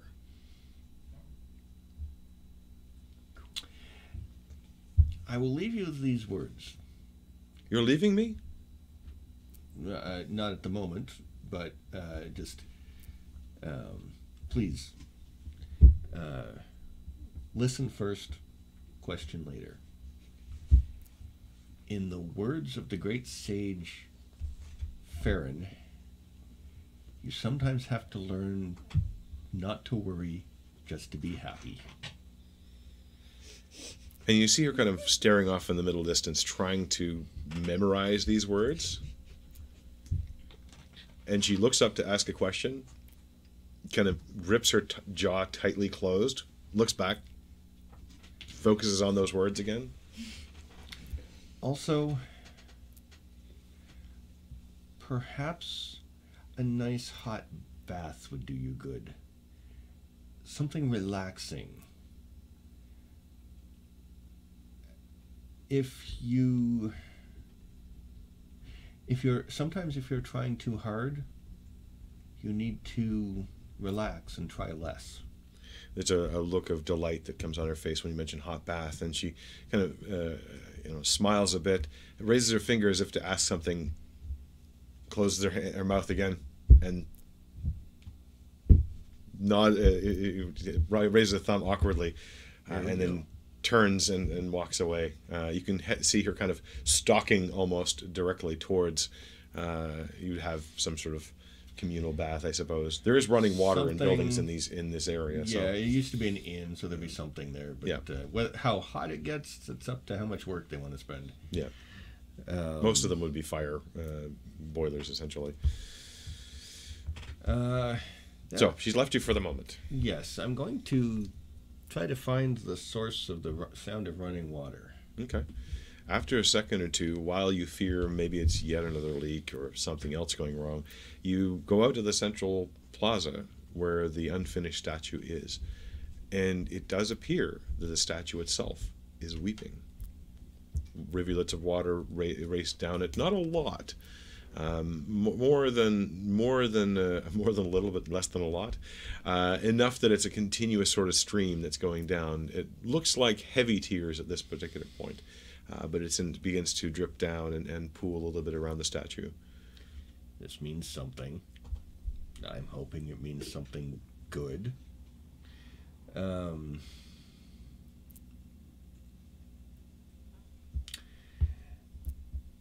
I'm going to commune.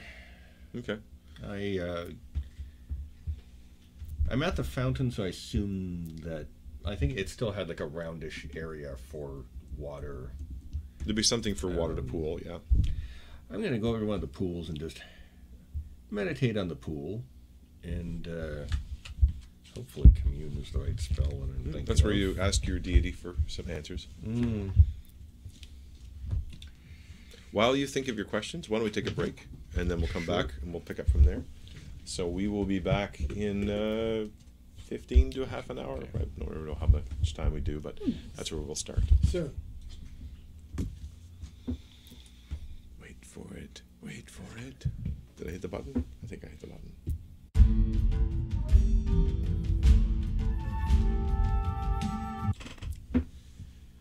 I don't know how it goes so fast this time. It's like I hit the button and things happen.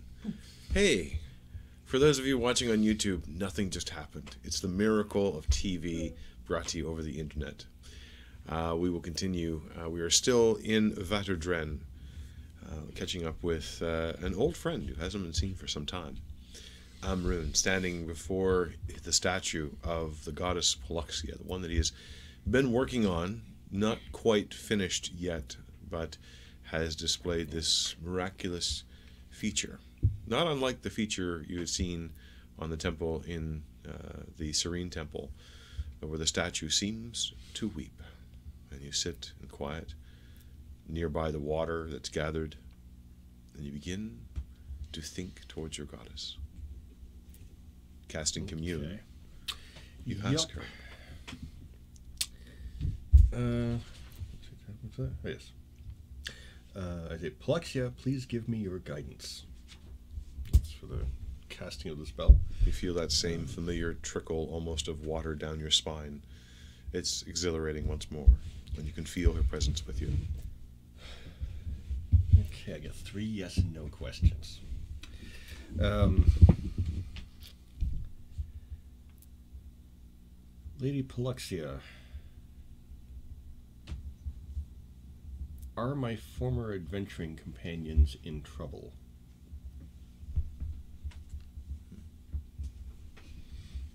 No. Oh, okay. Well, I'll go back to work then. Hmm. they were. You feel as though you are washed over by a tide, like you were standing in a great river as its water flowed heavily, rushing in where once there had been nothing. It almost overwhelms you, and you feel yourself having to kind of brace a little bit to keep from falling over. The in the water, you see familiar faces. You see Elzara. You see Zakis. You see Clark. Not in that form. They see, you see them in their pristine forms, but they seem to be in the river. And the river flows quickly. They fight against the current, and yet are slowly losing. That is your answer. I believe that's a no. Or wait. No, I asked if my friends were in trouble. I believe that's a yes. Um, okay. After all, it's not about knowing; it's about believing. Uh-huh. Um, uh, are my friends on this plane?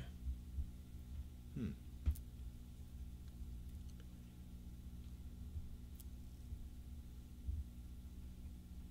The sense of the river flowing once again surrounds you. And now you feel yourself carried by it, gently, but carried. Ahead, you can see a, the dark, angular feature of a rock that divides the stream in two. And you see yourself, strangely out of bodied, floating gently down one stream while in the other direction the water grows choppier and colder and grayer. And that is the direction in which your friends have traveled.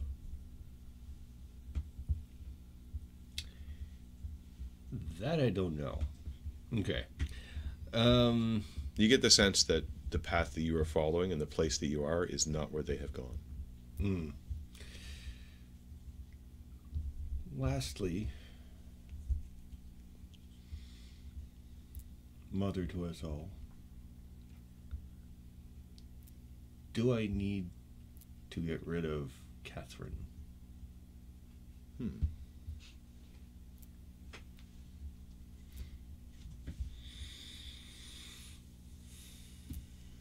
This time, you do not have the sensation of a river. You feel one little prick, and then another small little touch, and then another and another, heavily and growing stronger and colder. And then you feel, you not see, you not hear, but you feel the sensations of snow, one flake at a time, accumulating more and more. And then the cold grows stronger. And you feel the weight of the snow burying you heavier and deeper the weight becomes suffocating. Despite the fact that you know the pure essence around you is pure and welcoming, it is as though it is misplaced. It is as though it has turned and been changed and been corrupted. And while sitting there, you begin to shiver and you feel you feel cold and isolated. Catherine walks up to you and offers you her hand. Are you okay? Do you need any help? Is this in the vision thing? Or At first, you vision think it is, but then you realize no, Catherine really is standing before you, looking concerned. I am fine. She kind of withdraws the hand when you don't take it. Oh, you looked strange. I was communing with the mother. Ah, well. And she looks up at the statue. She must have heard you. That doesn't happen every day. I look up. Is it still crying, or is it something different? No, it's still weeping like it was before. Hmm. That's probably a good sign. I think so. Maybe you're onto something. Well, I'll leave you alone. So much to do around here. Idle hands and all. Hmm. You do not need to do so much. You are Oh. not one of us. Oh, you wound me. You have not joined. Maybe is I a haven't- Maybe I have not said the words, but I am here. The words are important. To some. Words can be very, very important. I choose very carefully which words I say. Sometimes that will leave you out of things. Tragedy is my life. Well, I go back to uh, meditating because I've still got one more thing that I need to to do Okay. as I uh, reach out to Paluxia and again pray for uh, for uh, Damon Trieste. Trieste, yes, Mhm. Trieste, um, to be allowed to be here. Okay. I have a really low chance of that happening. Roll percentile. 63. Um, as the cold from the previous vision still lingers a little bit longer, um, you find yourself reaching out for Paluxia but a little distracted by Catherine's presence. Almost as though somehow she knew at that moment to be there, or was that the goddess sending you a message? Was it sending her a message? And these thoughts kind of spin and swirl, and unfortunately uh, distract you from making that true connection. Uh, but still, the miracle sits before you of this weeping statue. And that can't be all bad. Hmm. I think just the rest of the day, I'm going to talk to the rest of the members and just see how they're doing. Uh,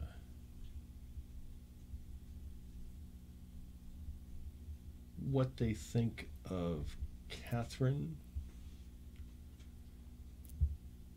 uh, especially since she has not taken the vows that they have.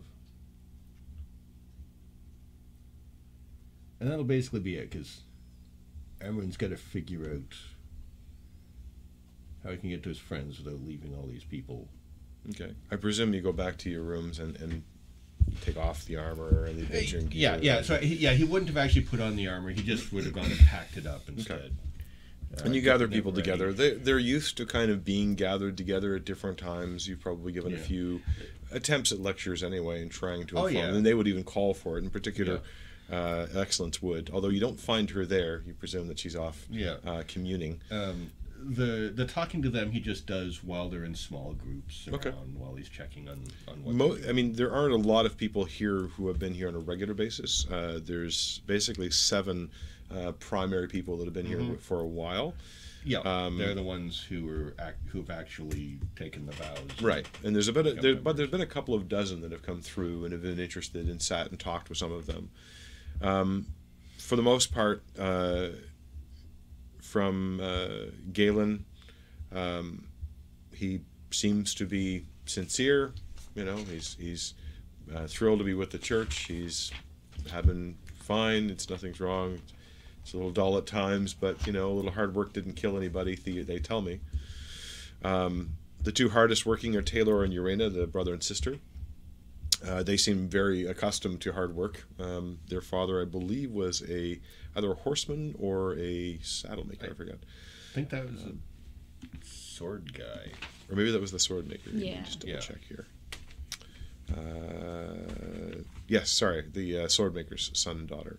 But they they grew up around the hard work that their father did, and, and while they didn't take up the trade, they they seem accustomed to it, and generally quite quite happy to be here.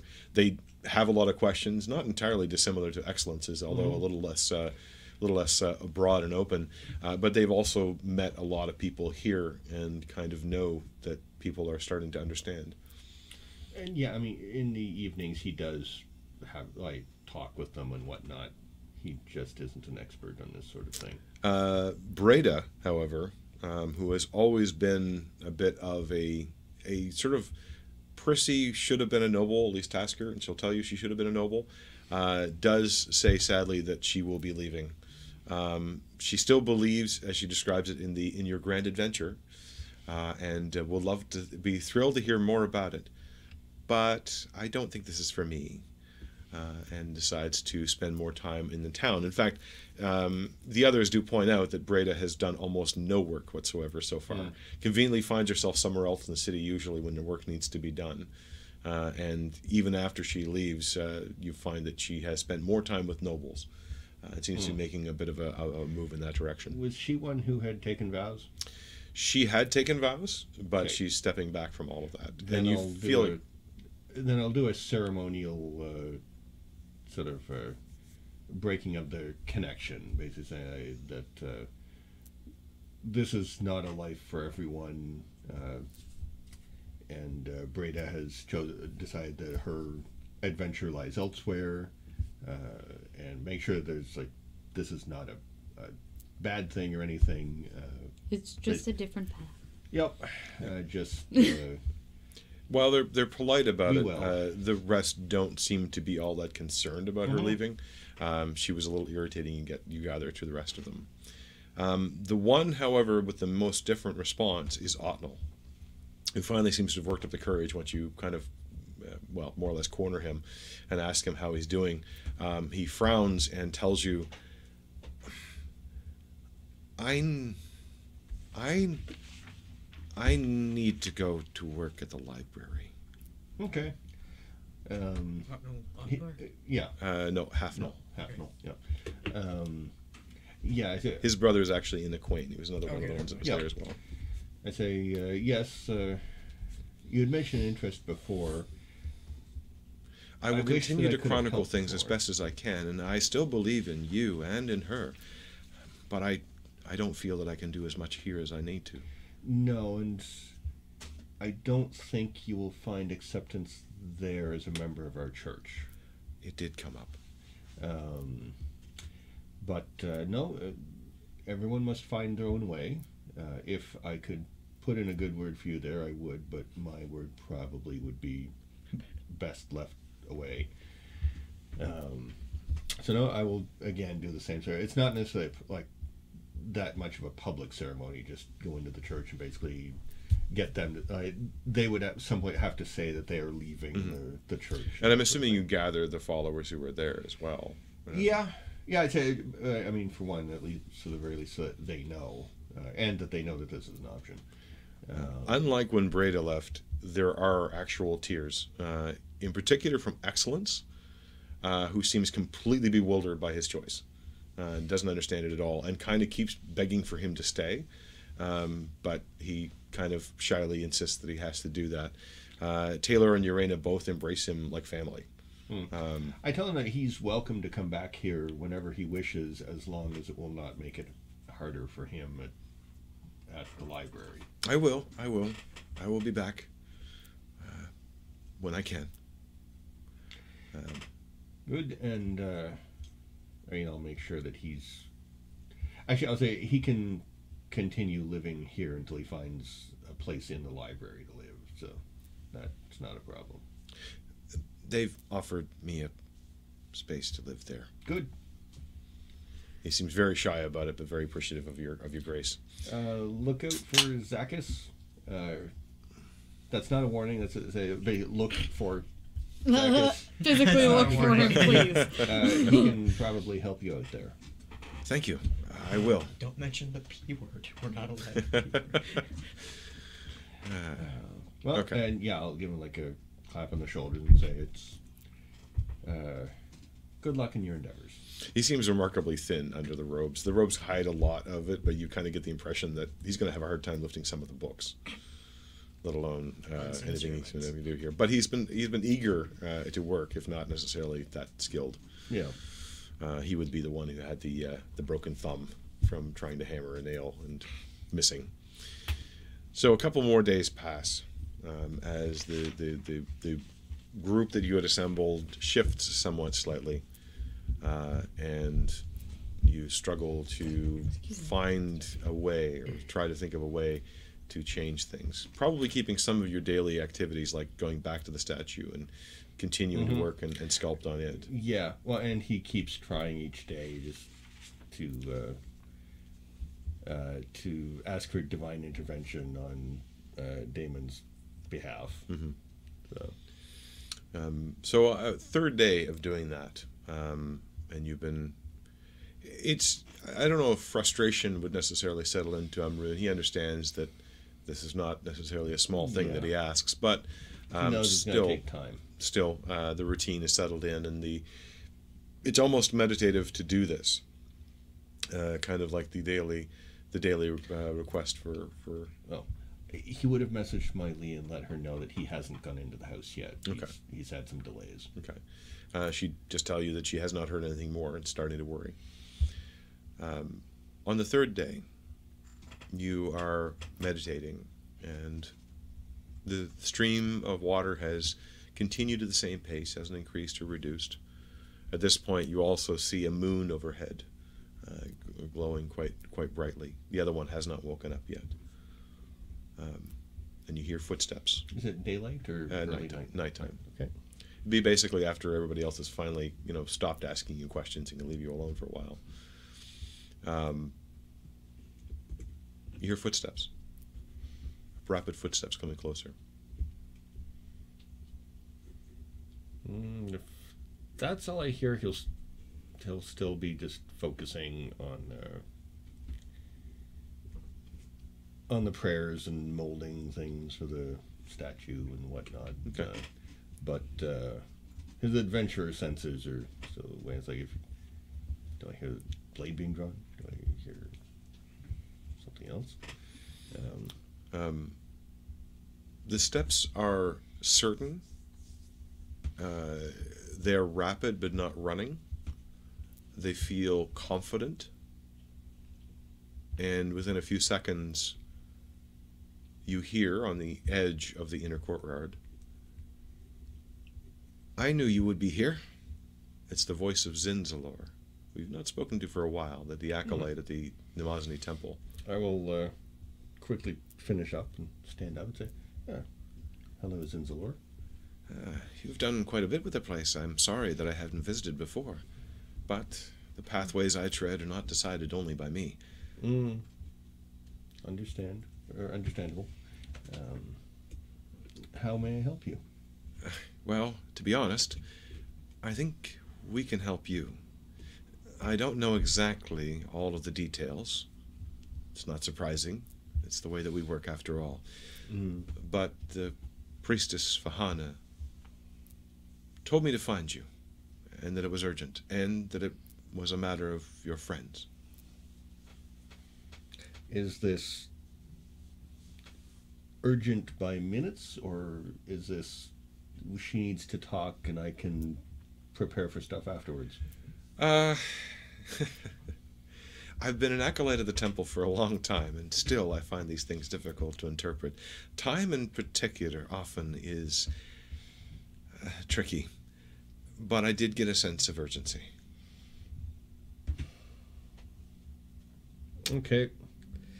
Uh, then uh, I will need a few minutes. Uh, I go and pick up the stuff that I've packed up. Okay. And uh, um, he'll probably put on the major pieces of the armor, and just the rest will, will be in the bag. uh, and uh, and yeah, he'll grab the shield and the the um, Staff. nah, he'll leave that. Nah, he'll leave the that. There's a little too much to carry around right now. Okay. Uh, yeah, he'll just grab the shield and the rest of his stuff, and um, he will let. Hmm. Um, who else is up right now? Because he's not just going to leave them. Um, are you going to go looking for people? Uh, you would find uh, Taylor and Urena are talking uh, in one of the inner inner rooms by the fire. Um, I walk in and uh, tell them that uh, the uh, the priestess of uh, has uh, asked me to come by. It is about some people I know. Uh, it's possible I may be gone for a short period. I don't know. Is there Uh, something wrong? Urena asks. I hope not, but I haven't been able to contact them. Um, Is there anything we can do? Says Taylor. Look after the church. Continue doing the work that we're doing here. Um, keep Make- paying attention to. Uh, Make an insight check. Twenty-four. Um, there's a look that passes between the two of them. Uh, it's one of those looks that brothers and sisters often have, that hidden language that family as close to you has. Uh, but it, it conveys to you that there's something they'd like to tell you, but they're hesitant. What is it? My apologies. I normally would like to just leave this to uh, whenever you wish to talk about it, but uh, if there's something going on, I have to know now. Again, the sort of look passes between them, and there's a sort of unstated decision uh, as Urena kind of shakes her head. We're worried about Galen. Mm. we don't have any proof or anything, but a couple of nights he was gone. And he came back in really late. I think he felt like he'd just slip in and nobody would notice, but Taylor's a light sleeper sometimes. I am not. It's true. It's true. Hmm. Once or twice. It, it, it's hard for me to sleep. I, I, regardless. He had a very large bag of coin with him. Far more than any of us have accumulated here. I don't know why he had it, but it just seemed strange. And Hmm. I don't know, the way he talks to some of the other people who come to the temple, he could just be a, a merchant's son. That's true. And maybe he senses a, an opportunity that we aren't seeing, but it sounds as though he's trying to sell indulgences or something. Prayers for money. Hmm. Technically, we can make scrolls for prayers and sell them, but th- I don't think that's entirely the same thing. You're Um, pretty sure that Galen can't make scrolls at this Yeah. point. Uh, I go over to the wash basin Okay. uh, if we have one nearby. Yep. Pour some water in, and I focus and cast uh, commune. Okay. That takes a minute to cast. So. Yep. Uh, I'll set my stuff down and uh, just focus and start praying over the. You get the vague sense Oh. of the two of them kind of coming around to watch you reverently. Um, and uh, yeah, once it's done. It's probably a bit of muttered prayer as well. and Oh yeah, yeah. He's he's praying. um, the surface uh, of the water itself becomes a little cloudy, almost icy. Yeah, it also ripples because that's it, that's one of the things that happens. It's true. uh, It's true. with him. Uh, he uh, he says, uh, Lady Paluxia, Galen, one of, I assume he's one of the people who took the vows as well. Yep. Uh, Yep. One of your servants has been spotted with, uh, has been seen with large amounts of cash. Is he Is he selling promises of your aid for money? Um, the water freezes over solid um, in front of you, uh, and then cracks in one small space. A little bit of the ice falls through below, um, and then it seals over almost instantly. Uh, another piece cracks and seals over almost instantly. Another piece about the size of a coin breaks and falls in, and you can see the cracks rippling outward from that hole. It does not seal over instantly. Okay, I believe that is a yes. um, did Catherine put him up to this? Did he make a deal with the Or is she influencing him to do this? Um, well, which which question do you want to ask? Because they are slightly different. Is Catherine behind his actions? Okay. Um, the ice seems to freeze over solid once more. This time it becomes uneven, and a part of it seems to crumble in a little bit further. The overwhelming mass of the rest sort of bobs up in the water, pressing that piece lower and lower into the water. I think that's a yes. Yeah. Amryn is going to attempt to write an, an interpretive guide at some point. Um, Gods, man. How to speak ice. um, shoot, do I have a third question? How's it going? Hmm. Ambiguous. Um, your statue is crying. Is that a good sign or a bad one? Sorry, is that a good sign? Because it's going to be yes or no. the uh, ice evaporates, leaving a bit of steam. Uh, the steam flows up and flows up over you and the two that are standing beside you.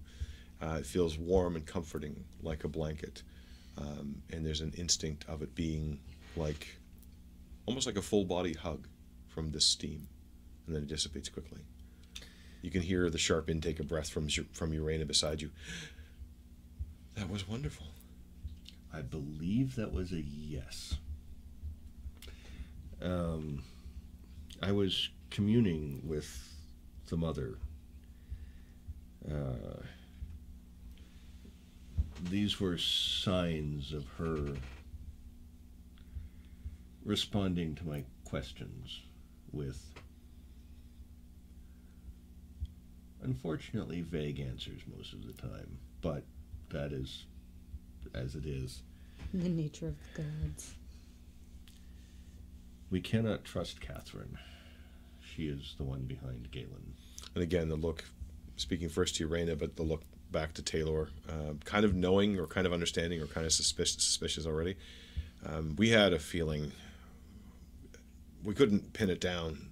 We've talked about it a bit, but we wouldn't want to present you with nothing. Understood. Um, does she seem to have influence over any of the others? I've seen her talking to a lot of people, Mm. but I, it's hard to say. We've talked to a lot of people too, and frankly, we're trying to have a bit of influence, so Mm. we've kind of assumed it's much the same way. I'm more worried if she has been influencing you and the other members. Well, frankly, we don't really talk to her all that much. Mm. Tend to keep to ourselves a little bit more. She and Galen have spent a lot of time together, though. I Frankly, I thought it was um, something different. I think there might be something there, there, but she is a wily one. Is she dangerous? Who is she? Do not worry. I may have to have her removed from the church, though. I believe her influence is not a good thing. From the doorway, you hear Zinzalor. We should really get going. I did say urgency, didn't I? Yes, sorry. My apologies. Um, for now, um, if the two of you could keep things running with the repair work and the other work, uh, of course, uh, the statue we'll just leave as is until uh, I get back. Hopefully, I will be back tonight, but I, I'm not sure what I'm being called for, so maybe this will take a short, uh, a few days. You can trust us. I We'll know be I here. can't. Go find your friends, Amrun. Um, and yes, uh, I will head off with Zinzalor. Okay. He leads you on a twisting path. You would have gone to the temple a different way, but there seems to be purpose in the way that he's walking. Um, it's something you've noticed about the followers of Namazani before, that for them, uh, it is about the journey, strangely, as much as the destination. Uh, and most of their journeys, including their conversations, seem to wind in paths that don't make any sense until they're done. At last, you find yourself before the temple of Namazani and you notice something different about it. It's the same square building, same squat building it ever was, white on the outside, pure white. But there seems to be something in the moonlight which is glowing just ever so slightly. It's hard to see, and it would be the equivalent of seeing your breath on a cold night. I'll go over and touch the wall. And just. Do I feel anything different? Um, yes, it feels alive in a way, energetic, not not fleshy, but but more that there's a warmth there, Hmm. like it's been warmed by the sun for a long time, even though it's deep at night now. Oh, this is different. When did this happen? Not too long ago. Well, then we should probably talk with your uh, your priestess. Yeah, follow me. Uh, one thing. If you should, if you should see any shadows, avoid them. Okay. It would be best. Uh, I can't really explain. Yeah, I'm getting used to that. And he leads you in through the temple do- doors. Um, once again, taking the right hand path and beginning the twisting, long, strange pathward inward. You notice that that lightness inside grows stronger the deeper you get in, but there are these weird cracks of shadow that exist in corners, or even strangely along a wall that, as you pass by, almost as though it's a single dimensional illusion, it vanishes. Um, he does not waver, he does not stop, he does not slow down. I follow him. Finally, you find yourself in that central garden which you've been sub- to before. There, sitting simply, no ornaments, no fancy clothing whatsoever. A simple, uh, light white dress is the form of Miyazana. Uh, Mia, sorry. Yeah, Miyazana Vahana. Uh, sitting there. Um, she smiles as you come in and, and bids you to come over. Thank you, Zinzalor. Please, friend, come and sit. Uh, have I heard her have a title? Priestess. Okay. High priestess, right. really, technically, but Certainly, High Priestess. I go over and I will sit in front of her, mirroring her her uh, seating position. please, we are colleagues now. You may call me Miyazana, at least in private. As you wish, Miyazana. Uh, you might call me Amron. Everybody does. I will. I will be brief. It is not my nature, but I will. I have had a vision, and it involves your friends. And it involves you, even though you are not there yet.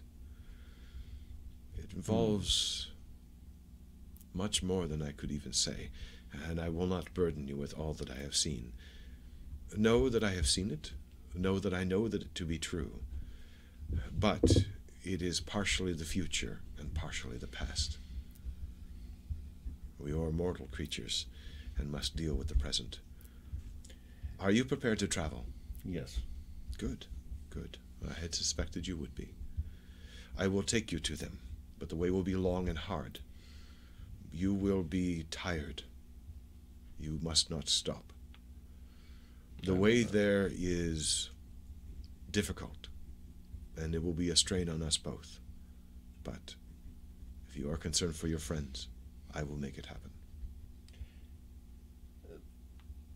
There's one other thing I must ask, Yes? though I I would not wish to burden you. If I do not know how long I am to be gone, I would ask you to look to watch over my church as much as possible. They are good people, but there is one among them I do not trust. I believe she is attempting to corrupt things from the inside, and I, I would not want them left too alone with her, Can you tell me her name? Catherine. It, well, I say she goes by the name Catherine. She looks at you hard for a moment. I look at her right back. And, and you get the sense that she's seeing more than the surface. I'm fine with that. I haven't said anything. you have said her name. Her, I, her Yeah, current identity. Yes. That's not her name. Mm. I see. This will become clearer later. I can see the stone being carved now. I will send word. She pauses for a moment. Zinzalor will look after them. Thank you. Now, if you are prepared to travel, I am prepared to am. lead you. Follow me. Put on the rest of the armor pieces, like the boots and everything, gauntlets and whatnot, and then the sh- shield, and basically just get all. So it's like, for are you ready to go? Yes. She starts to walk off, and then you start putting on armor. Like, I "Not almost ready. here." Uh, just, I need a minute. Just, like, just a minute. Um, But she leads you on the left-hand path, which in the temples has never been the case. It has always been the right-hand path, uh, at least to start with. But this time it is the left-hand path, and she starts to move quickly. Um, the hallway is long, and it is straight, so long you cannot see the end.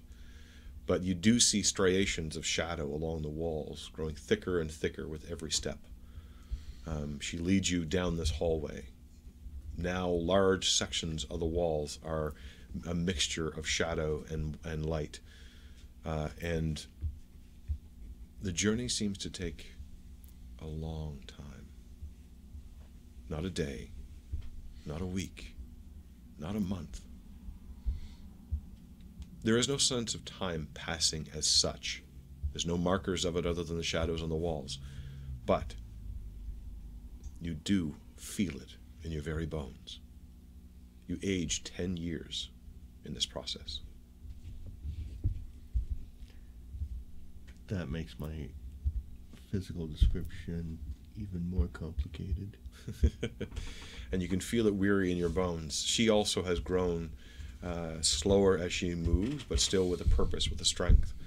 Um, now the shadows are more than half, and she directs you there, ahead.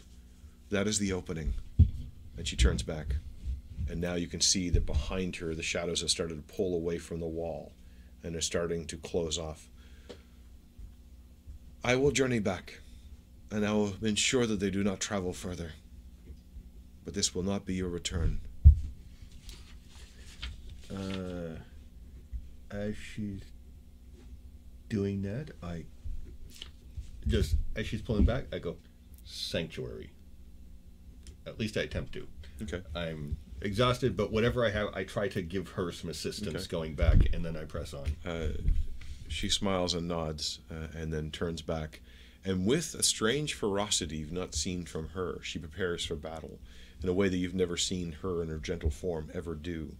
Uh, but the shadows now take on distinct forms, and uh, from her are, are white bolts of pure energy that seem to have this strange effect of not firing directly at what she's firing at, but instead curving around to their weaknesses and, and highlighting them, bright, bring them bright and loud, and they scream and cry as you pass through that light. And find yourself in an Amazian temple.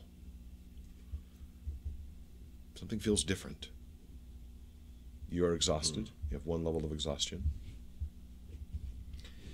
Then uh, yes, I will keep going. Just there's a tunnel. Keep walking. This one curves off to the right. And then before you, disfigured, familiar but changed ever so much, you see Clark.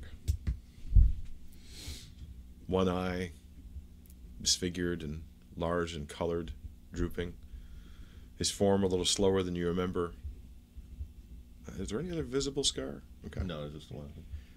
Clark? You see Amrun in Amrun. full gear.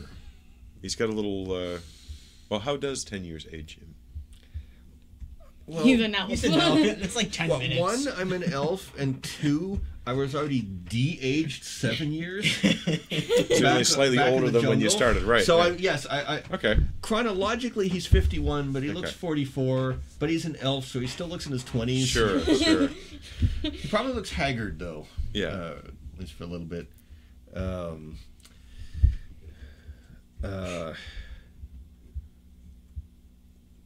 what happened? That's a long story. You should come with me. As your eyes adjust, you start to note a change in the way the light moves. It is almost as though a dirty filter has been placed over all light sources, but there are no visible light sources. Oh, I hate this place. You will. well, let us tell you about our Uh. adventures. Uh, lead on. Okay. I'm gonna try to get to the Get lost. to the bag. Okay. As best Um, I can. You trying to continue on beyond him? Well, wherever the direction is that the bag is. I'm- I'm, gonna get lost. That's how it works. Yeah, you, you see Clark kind of push past you and lead in a direction, but he doesn't seem to know where he's going. I take it. Looking back, I don't see the continuation of the tunnel where I came here. You see a, a turn. okay. Um, are we looking for something specific? Yeah. Something you'd be interested in. Unfortunately, you're not gonna be able to keep it. Story of my life. You may chip Um, off a little bit. Um, As we walk, I will I will tell you, uh, we have discovered in this plane, this world, the bones of your goddess. And we're going to use one to bargain our way out of here. Sorry. it's not exactly what I was expecting you to say, but um, yeah, that sounds pretty standard. Um, really? Yeah. Okay. Um, I have so many questions, but I'm going to put them on hold for now. I would suggest Um. speaking to the smart ones. I'm just getting a bag. As you walk around in circles. Yeah. Like he'll like walk and then he'll like turn and then like walk to the left. Is it a bag that you had before? No, it's not mine. Whose is it? But it's a magic bag. Is it Elzara's magic bag? Uh, I'm going to do a locate object for Elzara's magic bag. It's Which about was 100 feet away original magic in five different directions. Oh, thanks, Temple and Amazani. Well, you'll be happy to know it's there, there, there, there, and there. oh, and there. actually, can you uh, show me? It's too bright. Nope. here. It shouldn't be more than one place. I'm guessing the temple is messing with me. Okay. Well, let's go this way. Sure. Um, and yes, uh, we will attempt to. I mean, I think I can get that going for 10 minutes, so I'll try to home in on one of them. It it feels as though every time you get closer to one, another one pops up in a different direction. I'm just going to focus on the one. I think it's trying to lead me off in different directions. Yeah, this place does that. Mm. After a few minutes, not having felt yourself get much closer to any of them, or weirdly in this strange multi-dimensional space, getting closer, but as the as, as you then get closer and closer, it gets further away in a way that sort of makes sense. Uh, if you were into fifth dimensional geometry, maybe you would understand, but you are not. Not And this since I place lost is- my brain hat. Is nearly incomprehensible. Uh, however, you do hear uh, quick footsteps coming in your direction, small footsteps. And around the corner, you see, uh, well, person you know Yeah. uh, as Speaker Ordo. Ah, there you are. Oh, hello. I don't think we've met. This is the keeper No. of this place. A halfling gnome. Uh, he is a gnome, I believe. Okay. Uh, I'll drop down to one knee and put our hand. Nice to meet you. Oh, he takes your hand and shakes it. Very nice to meet you. Where'd you come from? This is Amroon. He used to be trusted implicitly. I came from one of your other. I, well, I think it was an other temple or maybe I'm in the same temple, but it's in two different planes. Do you know Miyazana Fahana? Sorry, I'd say High Priestess Miyazana Fahana. Uh, he kind of smiles. Oh, well, that explains a lot. Follow me. Bag. Okay. Oh yes. Uh, I guess we need a bag with a bone in it. Oh, it's just over there. He points, and there's literally just an opening and the doorway to the central central area. There you can see the bag. The seams are now popping as you watch, and you can see that the bag is starting to lose. Strangely, it's losing coherence, uh, almost as though it's not ripping from the seams itself, but it's starting to lose existence uh, a little bit, and plumes of white are now exuding out of it. As you look over to it, uh, Amrun, there's an overwhelming sense, almost like you're standing in a tidal wave now, uh, a sense of being kind of swept up in this pureness that you know without having to get any closer. You know from this distance, just at a sight, this is her. And it almost brings you to tears. The purity of it. I need to get that out of there. Uh, for the sake of both of those things, uh, I'm going to try and. Uh, it's huge. Careful. Sure. I have an idea though. Okay. Um, and you're a good person to ask. Magic stuff doesn't usually break that easy, right? Not easily, no, but it can be broken. Cool. Uh, Clark takes off his cloak, Okay. which is magical, Mhm. and he attempts to wrap it in the bag, or wrap it around the bag. Okay. All right. This may do for a little while. Uh, Which cloak is that, by the way? Uh, that is the cloak of protection. It's a wondrous, rare, and requires attunement item. Okay. That also has stylish shape shifting. Sure. Hey. Oh, that's right. That was one of the ones you found in Taraka, wasn't it? It's one of the ones that we can change the color from it. Yeah. Yeah. Yeah. No, no, it, like it was wasn't from Taraka. No, Oh, no. we- We, uh, No, it was the fancy clothes that were in Taraka. Yeah. yeah. And Okay. It prevents the light from escaping, so we can carry it. Well, there's that, and also it's uh, if it does break the bag, we'll get a big enough explosion that it, that'll be fun. Cool, cool. wait, shunted to another dimension. One, two, three, not me, not Um, carrying it. Uh, our friends are outside now that we have the bag. We need to go. We should rush this out to them. Uh, yeah, Yeah. little one, uh, Orda, yes. can you lead us out, please, Oh, of course. quickly? Yeah, Sure. it's right over there. It's not quite, but uh, just follow me. Uh, and he does look back to make sure you're following. So you are going to try to heave the thing. Okay. Well, it's it's not heavy yet, but it will. Well, it it's half heavy. oh, okay. Um, there's this weird sense of trying You to owe me move a bag of holding. that It's not broken yet. It's not broken yet. Uh, you would actually recognize this feeling, Mhm. uh, having probably worked a little bit down on the docks in some of the jobs you've been on. It feels like moving a barrel full of water, which is it's not just the bulk of it that's the problem. It's every time you move, it swishes and moves around, and it feels almost like that, like it's slippery or or, or, or having difficulty. Uh, now, what is your strength? Currently 16. Okay. Uh, it is heavy for you, but you can do it. But it's a full-on job to carry the thing. Um, you Okay. Yes. Uh, okay. Yeah, I am following them. Okay. Uh, as you're kind of holding on to the bag, it's it's strange because visually, you've got this small sack, basically a bag about that big, and you're kind of having to heave it along as if it's a massive barrel. Uh, to anyone watching, it would be hilarious, but Orda doesn't seem to be laughing or bothered that much. You notice Clark struggles to move a bit. Yeah, he's falling as he- back as a little bit. Are you injured? Uh, that's a broad question. As he looks at you with his sort of Mm. ugly jaundiced eye. Well, um, that's complicated. I'm okay with it. We just need to get this thing out. Uh, yeah. Um, I am.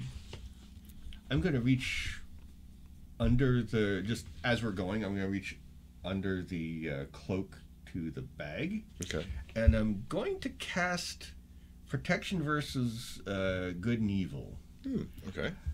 to make uh, to protect the bag against celestials.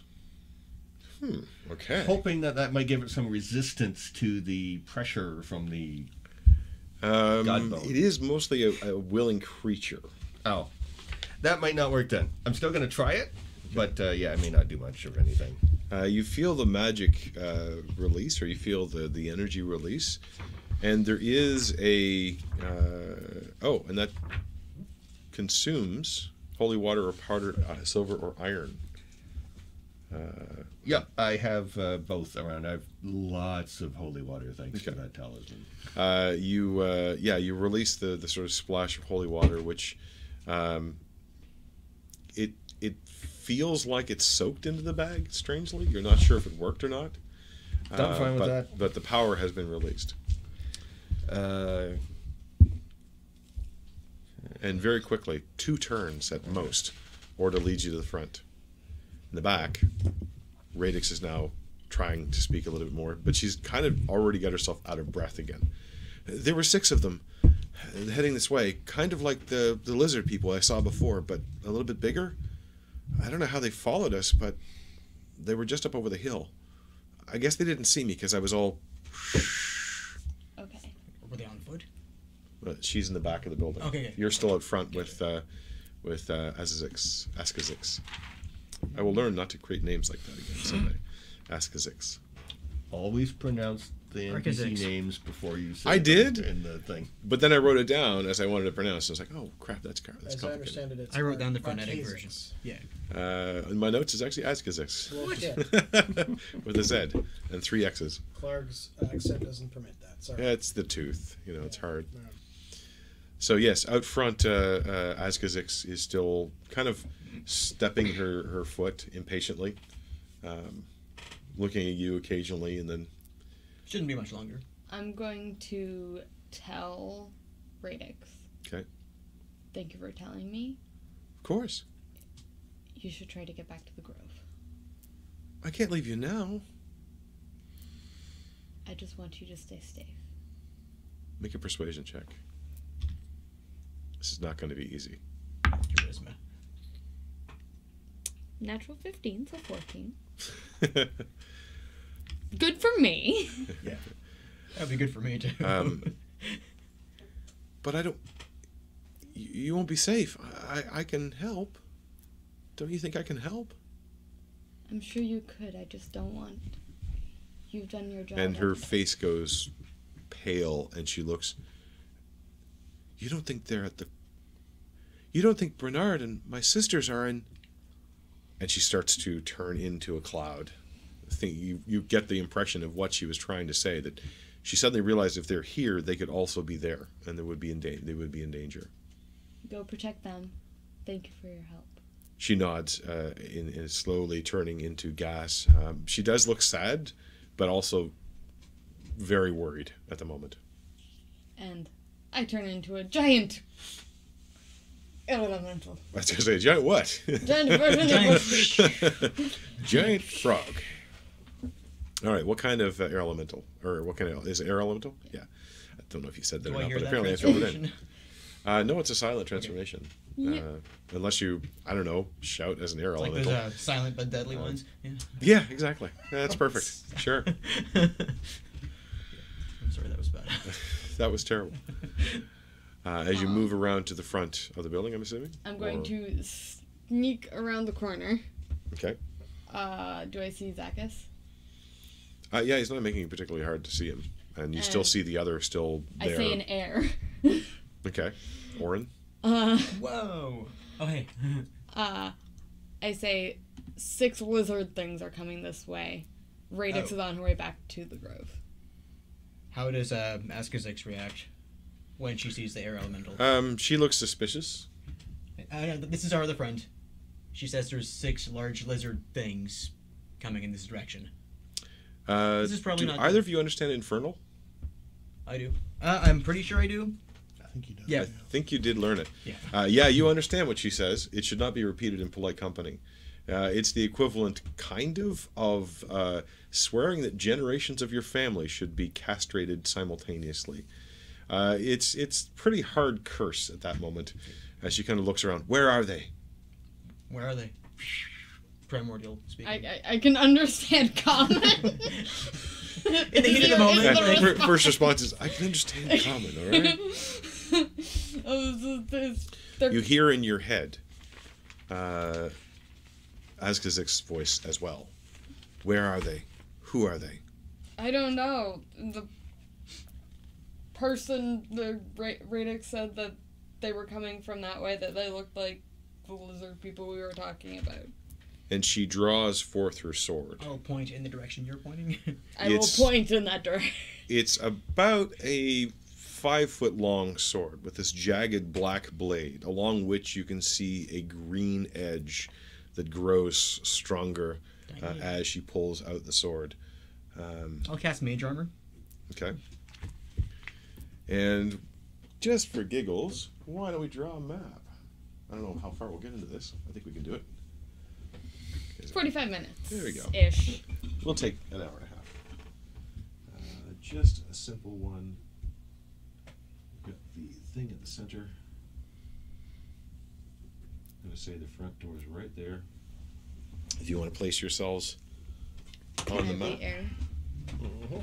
Happy little trees, everybody. Uh, I'm on You're one of the Near the sides. door, I, it? I, I'm at one of the sides of the building. There we go.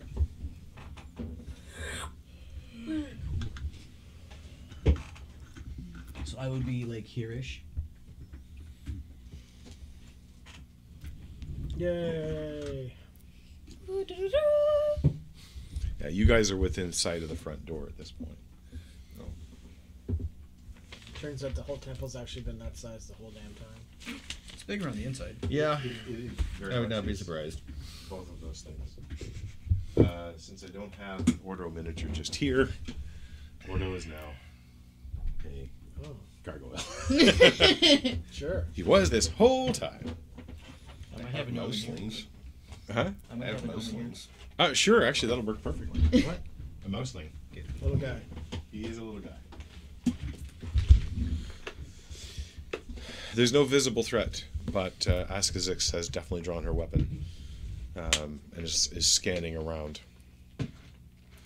Um, I will zoom forward and up to see if I can see anything. okay. Um, I, for simplicity's sake, just so they don't have to draw the map bigger, I should have probably moved the map way down there, but that's okay. I put it in the middle for some silly reason. Oh, is Uh, the map screen on? Oh, look at that! I even forgot the button. There's the button. Press the button! All right. People get a chance to actually see the map. Uh, but for simplicity's sake, I'm going to say that the, you will see them when they crest the hill, essentially, uh, as you do indeed make out a large lumbering lizardman. That was something I shouldn't have said five times. Um, somewhat behind him. Is it a legion of large lumbering lizardmen? oh dear. All right. Ah, yes. Red, red, white dot. I remember you. And for convenience sake, they are charging up over the hill just as you start to rise up. And we roll initiative. Why not? Haven't done that for a while. All right. Oh, wait. Um, All right then. On that, on that note, I'm already rolling a better initiative than Kuzaima ever did. 15. Okay, just a second. I'm going to set up a couple of things here. Uh, all right. So.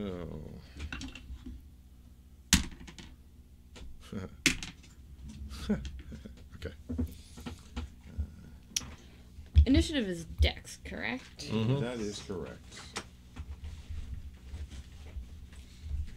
Because initiative Oh. in wild shape goes by the Dex of the animal. And I forget that all the time. All right. Oh, hey, look at this. I get to bring a flag back. I was wondering what, what you would do. All right, uh, twenty to twenty-five or higher. That's that's lower. Okay. Uh, fifteen to 20? 19. 20. 19. Because air elementals have plus 5 to Dex. Whoa. 20 for You get a 15 too? Yeah.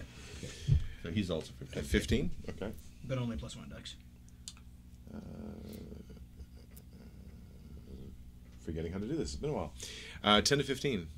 That's a me. Okay. I get a 13. 13. All right. And that's all of you guys. Am I missing somebody? Oh, Radix isn't here. Stook. She has her mission. So we've got Clark. I love her, but I don't want to be responsible for her in another fight. She did almost just die. Yeah. Multiple times. That is like She's, uh, hundred percent the reason. Is is like It's like don't tempt fate too much, Radix. Oh, yeah, I've got one more to roll here. Where are you? Where are you, Askazix? Oh, okay. Mm-hmm. Askazix will be star C, just so I can keep her distinct. And they apparently did not expect you guys to to be know. aware. So we begin with Clark. Yeah. Uh, bag in hand, we'll get to the door. Okay. I think that, that's it for me. All right, Inside or Zakis. outside the door? Zakis, uh, you see uh, Clark come up. His hands are holding the bag of holding as if it's not just a tiny little bag, and he seems to be straining a little bit with it. Also, You it's can, wrapped in a cloak. And yeah, wrapped in the cloak. We've got company. You might want to leave that inside right now. And what do I see here? Oh. It's not you yet. Yeah. Do, do, do, do. I thought it was. It's me. So, Oh, it's Elzara first. Or it is at the back of the. It's Elzara first. Uh, no, Clark got a twenty. I got a nineteen. Mm-hmm. Oh, is there got a nineteen? Yeah, And Zach has got, I got a 15. 15. yeah. That's why you were not doing anything, just talking to him. Okay, okay, gotcha. I was No, just you- saying you saw him Okay. there. That's all I was saying is you saw him there. Uh, but it is Elzara's turn. okay, that's, that's what I thought. Alright, so I had rushed up to see to find people. Yeah, like you were somewhere. So you're somewhere about, about Yeah. You're, up about. you're within one round of movement distance either way. Yeah. Yeah. Um, and yeah, I'm going to, um, mm, whichever one looks the biggest to me. Uh, that would be the one right there. Who definitely looks the biggest. Whichever one looks like the most of a threat, and usually that is size. Uh, he's carrying a very large pole arm. Uh, and Two it looks like he's foaming at the mouth. Blue A- skin. actually, I'll go to one of the ones on the end, so I'm not in Okay. range of the other one. So I'll be like on the outside. okay. Uh, That guy's a little considerably smaller. Smaller? Smaller? smaller. Really? I just am Uh, alone up front, so I'm not going to be in range Yep. of. He's about to get swallowed by air. Oh, that's a n- nat 20 on one and a 13 on the other. Well, uh, the not 20 hits. as you might Uh, imagine. and then plus 8.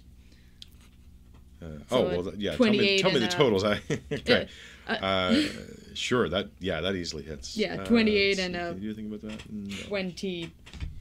Th- with 21, 28. Yeah. 21, yeah. More than enough. Yeah. But the crit on the first hit. Crit on the first hit. Does his body does do bludgeoning damage as it flies into the guy next to him? They've got a little distance Uh, between them. 2d8, so 4d8. Uh, what is the color on his base? There should be two dots. uh, the blue one? No. The one she's attacking. The 3D one. It's a 3D one. Oh, right. Sorry, never mind. It wasn't one of the ones. It's Uh, 3D1 with a stabby tail as opposed to 3D1 with a caster. Right. So 8, Or looks like a caster. 11. Let's see if he gets a chance to do anything. It'd be kind of funny. 8, 11, 14, 19, plus 5, so 24 damage on the first hit. Yeah, that rocked his world quite a bit. And the second hit, which was 7, 10, 15. Uh, so, uh, 24 and 15, so 39? Mm-hmm. Nice, nice. He's still standing, but Cool. he's definitely not happy about it. And I. GTFO. So, what were you doing? How is this a slam? Bam, Okay, bam, yeah. get he's kind of he's kind of the first one kind of takes him kind of underneath the arm and kind of lifts him up. He looks shocked and surprised. Uh, you can see him getting ready to cast something, and then the second one, bam, hits him in the head, kind of staggering a bit as he lands. And you Uh, pull back. Yeah. Uh, how far back does she get? Because we don't really know. We didn't have a solid placement for her before, so this will set where she's. Uh, let's say you have uh, a third of your movement left, whatever that is. A third of a 100. So So, 30, 30. Yeah. three and change. You don't really have to worry about movement in this particular 10, thing. 15, Yeah. 20, 25, 30. Yeah, There you go. All right, and you have the feet, so you can't get a, an Mhm. attack. Okay. I haven't played this character in a while, and that's why I was like, oh no no no, I'm not going in the middle of where everyone's going to get an attack of opportunity from me. Okay. All right. Uh, Zakis, you're up. See, this guy's doing poorly, so um, let's firebolt him. Okay. So seven plus. What's the modifier again? It's here somewhere. Plus eleven. So So 18. 18. That hits. three d ten. Seventeen fire. So the the bolt spins through the air, kind of like a little bottle rocket. You see him fall over, dead. How much did he have left? Yeah, 13. Yeah, uh, so you 13. did 17, which is more than enough. So I don't have to have that tab open. Perfect. Uh, let's see. And um, after I'm done that, I will Mhm. move behind the building a little bit. Okay. Typical Zakis fashion. All right. As to not die. yeah. Ask Thank Zix's you, turn. Let's see. What is her range? Sure. Um, yeah, she's got her sword drawn, so she will zip in. Uh, as she flies. Let's see, 10, 20, Oh, yeah, easily. Right to the biggest one uh, with no hesitation whatsoever. Takes Radix a said, said six. Hmm? Radix said six. radix. This is uh, Ask Zix. Yeah, no, what Radix reported that there were six coming She in. did. Yeah. Yeah. Yep. Uh, As she takes a strike with the sword, you can see the the edge of it glow a little green, uh, striking down. Oh yeah, that'll hit, You see it. I don't think anyone else does. and that will hit. Yeah. Okay. All I see is Clark Butt right now. It's true. Uh, she she didn't have a chance to do that.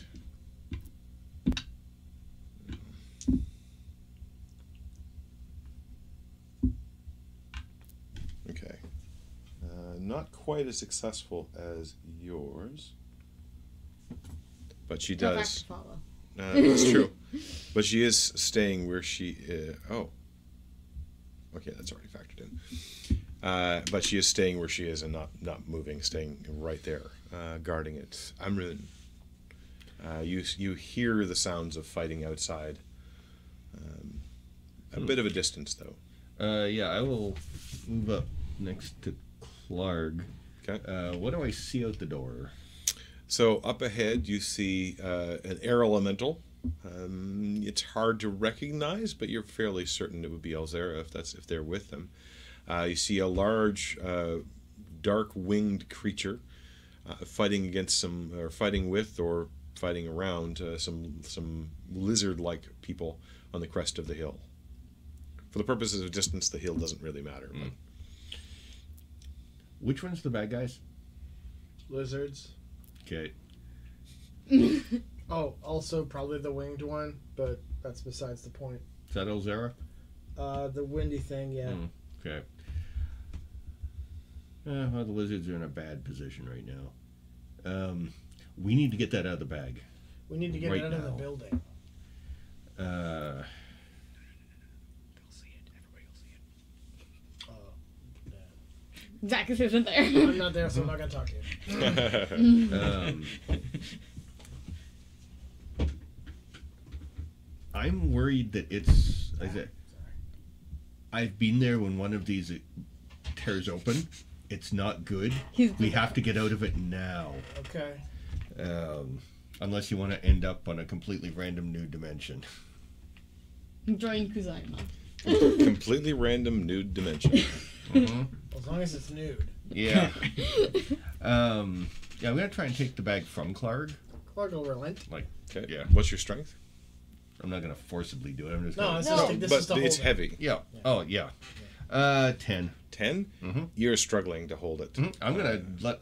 I'm gonna let it down on the ground. Uh, I'm on the floor you mean yeah. okay Uh, actually, I'm just. I'm gonna grab the cloak and try not to let it fall too fast, but I'm not very strong, so I just kind of guide it to the ground.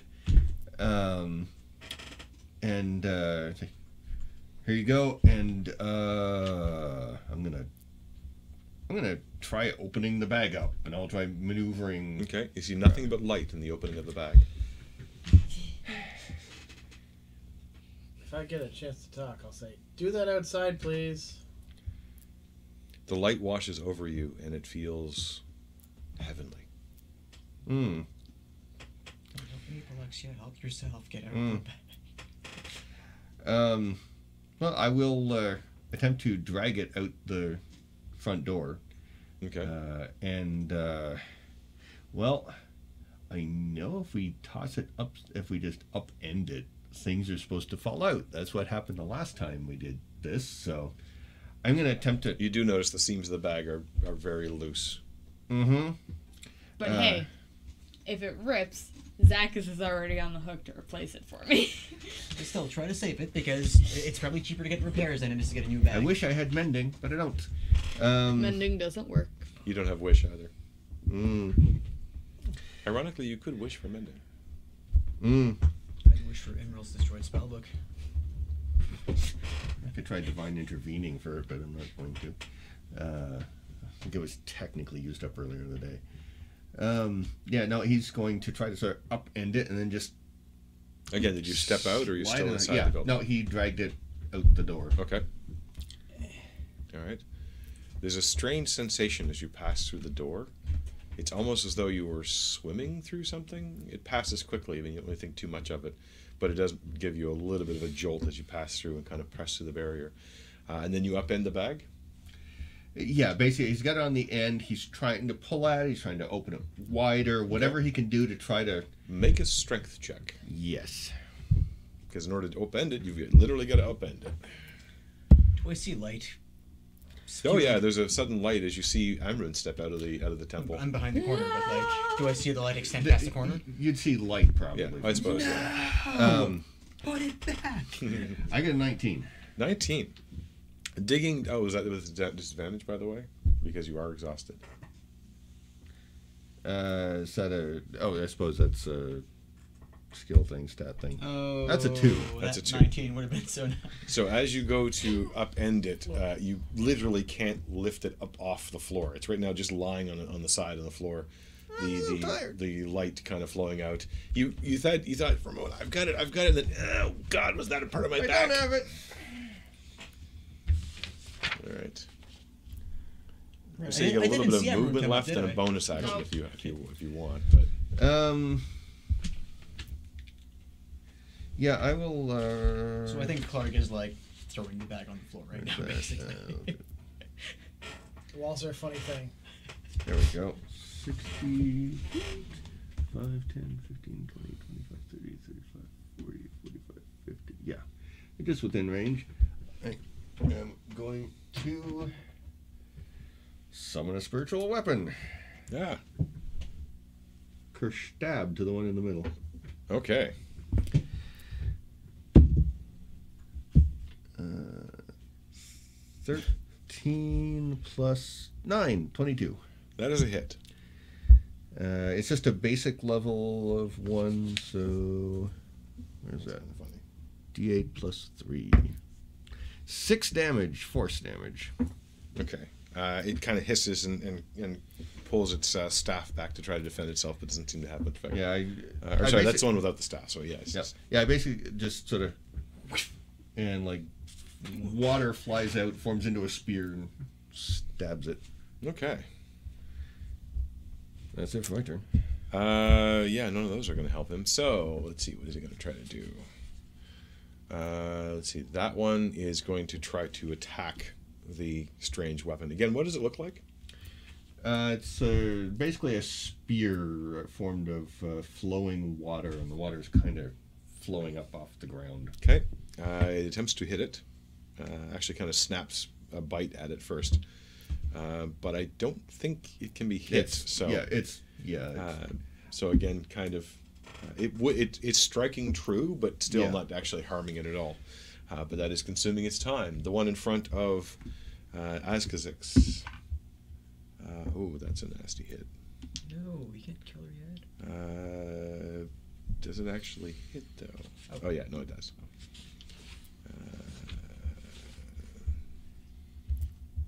Oh, actually, no.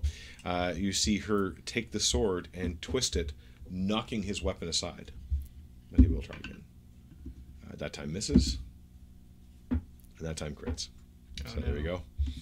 Makes up for it. uh, making up for it a little bit. Uh, as it's actually sorry, it's it's uh, yeah, no, it's a weapon. Uh, swing and hit. Uh, hits for a chunk, but uh, she does not seem to be concerned. Uh, that one's not going to help him. Uh, now the others. Uh, let's see. What is the Movement.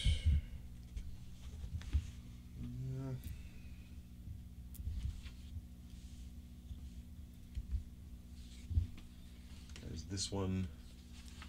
10, 20, 30, 10, 20, 30, just beyond the edge. And this one, 10, 20. Did you run up in the fly up in the air?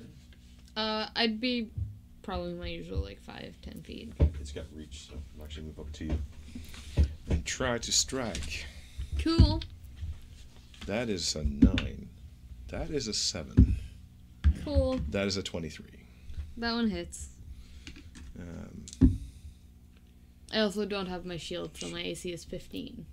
oh, Oh, okay. Uh, it's 13 slashing damage. 13 damage. Yep. But I think it's half because of the form, right? Yeah. Okay. Um, that is all for him. Oh, that one. Oh, what can he do? Can he do anything? Come on, guy. You can do it. You can do it. Little... Oh, you can't. You really are that bad. Which one? Uh, oh, oh, what's the range on that? There we go.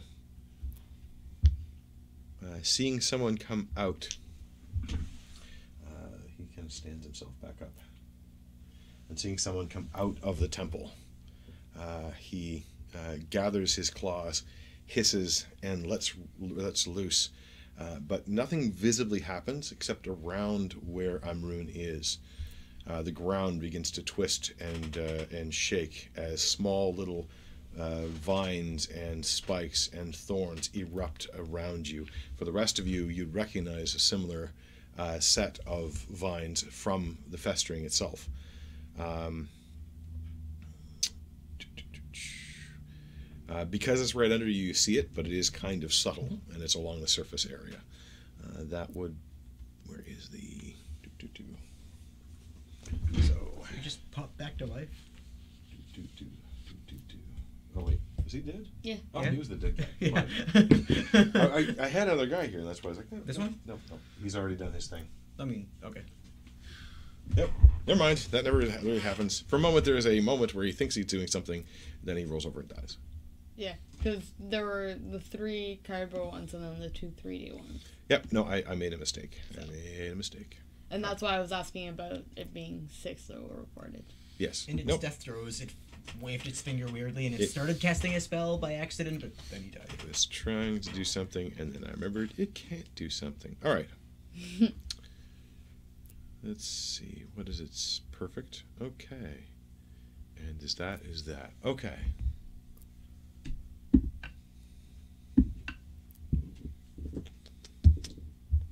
Okay. Uh, end of the round. Ordo.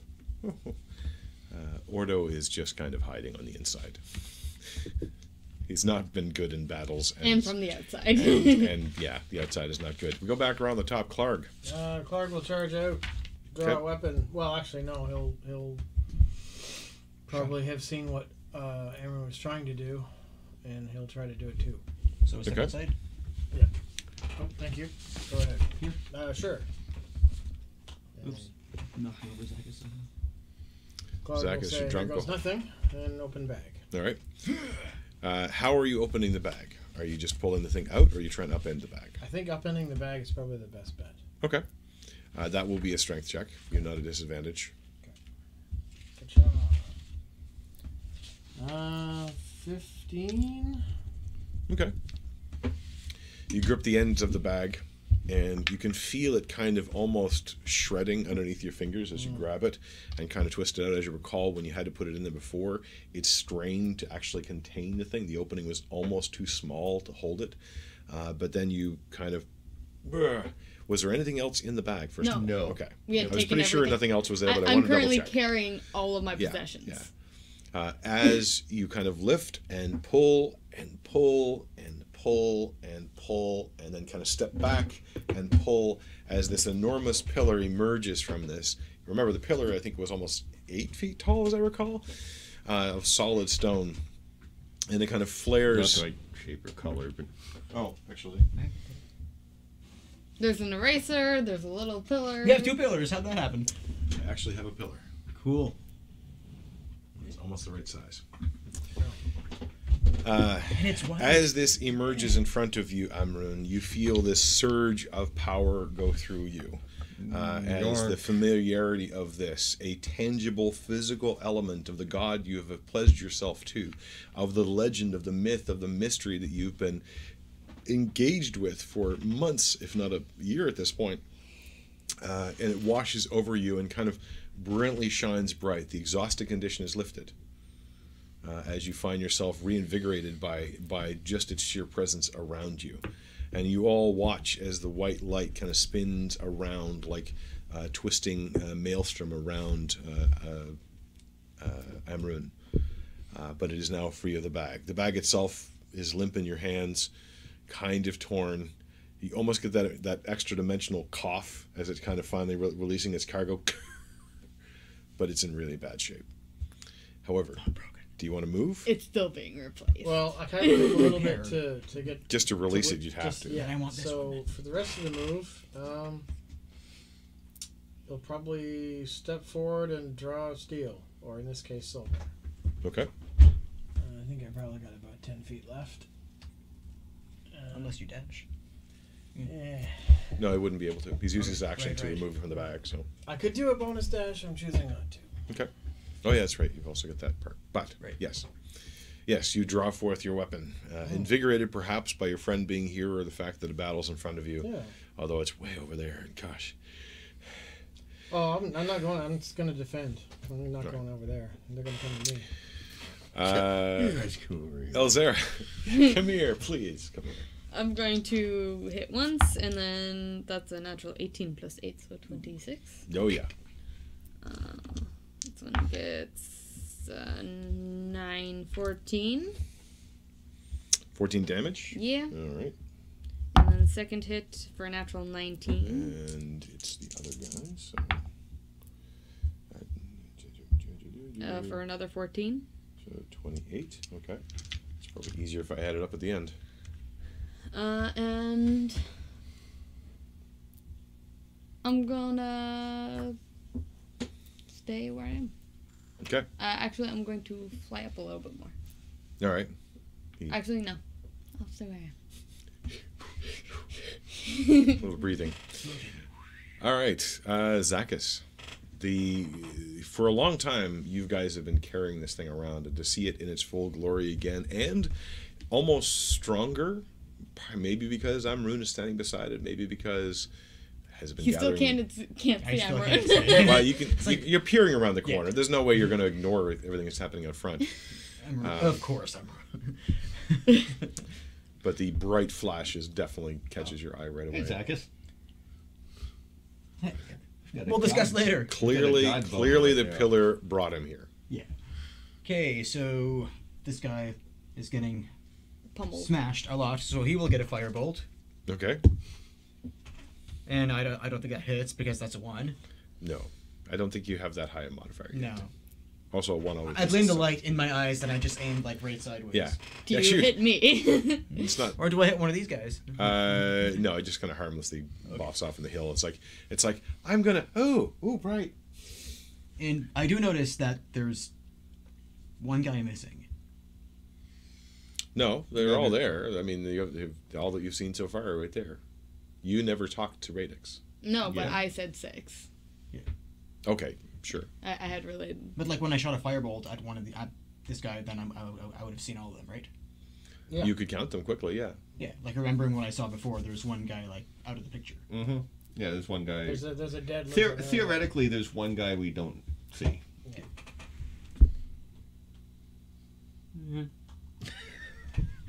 You I go don't- back inside. I don't like things I can't see. Okay. All right. Uh, that leaves it to Arkaxix. Arkaxix is swearing in Infernal. Uh, and- but it's and you recognize the the the sound of it. It's not swearing because she's angry. She's more berating them for their lower stature, and also kind of suggesting this is beneath her to do.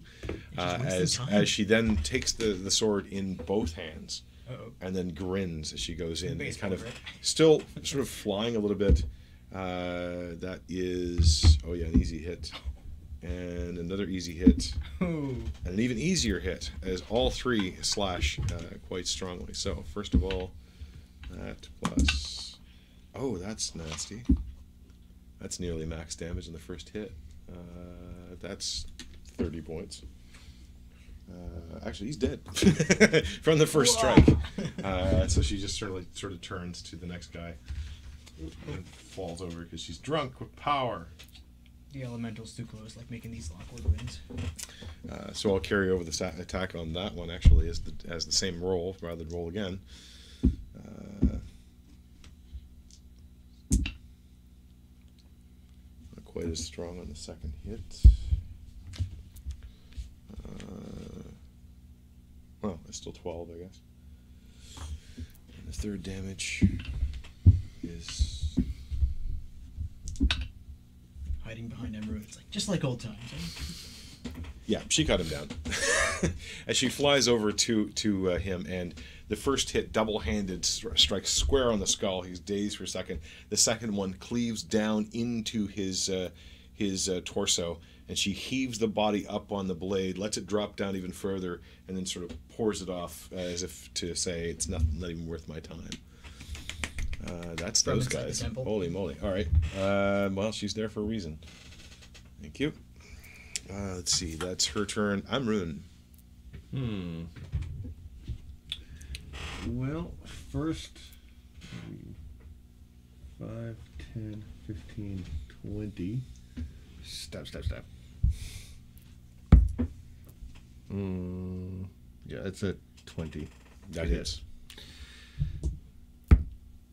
And six points of force damage. All right. It stabs at him awkwardly in the back, and he kind of cringes a little bit forward, but seems confused as to what he's facing. Um, everyone's action is probably looking at the the uh, pillar because it's a whole lot of God in his face. Uh, so he's only half thinking about the fighting, but things seem to be going okay anyways. So yeah, he's looking at the pillar, Okay. touching it. Uh, it feels. It feels like a dream. It feels as nothing else. In fact, you can barely see anything else, but A nothing dream else in seems hell, to matter. but a dream. Uh, okay. Um, let's see.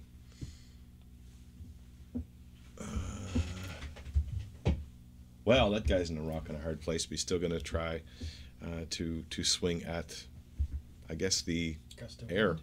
Yeah, he's really not happy about that. That's a natural one. That's a second natural Oh one. my god. As he's like Distractions. trying to swing at the thing in front my of him. buddies are dead. Oh, That's terrible. That's so funny. That's so funny. All right. Those two natural one- ones in a row take away his third attack. Uh, basically, at that point, he's just giving up. It's like, eh, forget it.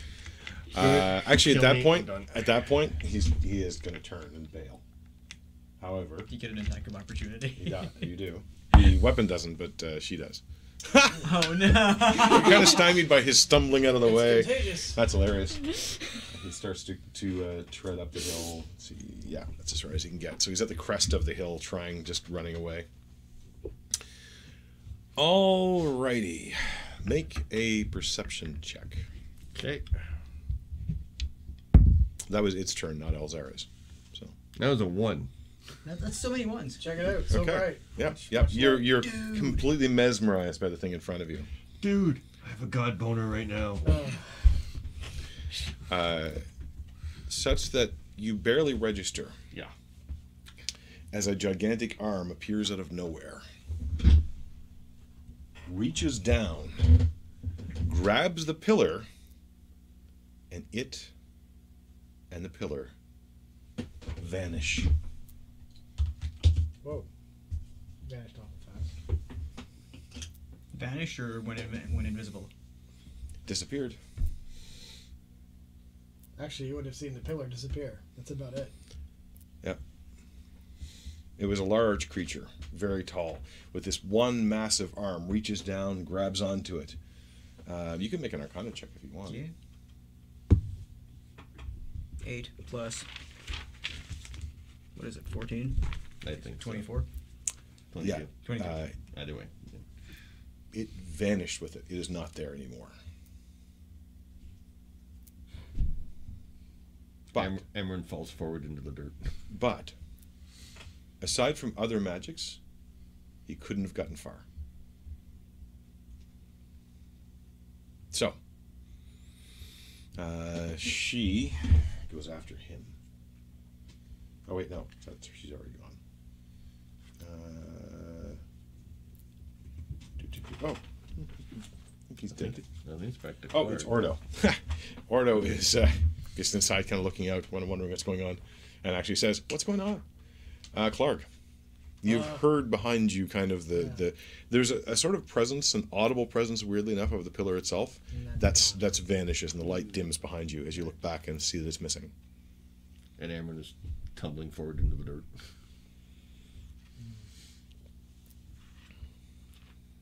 Uh, Wait. Uh. Big arm guy stole it. Can I counterspell that? Uh, you can certainly try. Yeah. Counterspell his vanishing. Yep. Yeah, I'll totally. Um, oh. Weirdly enough.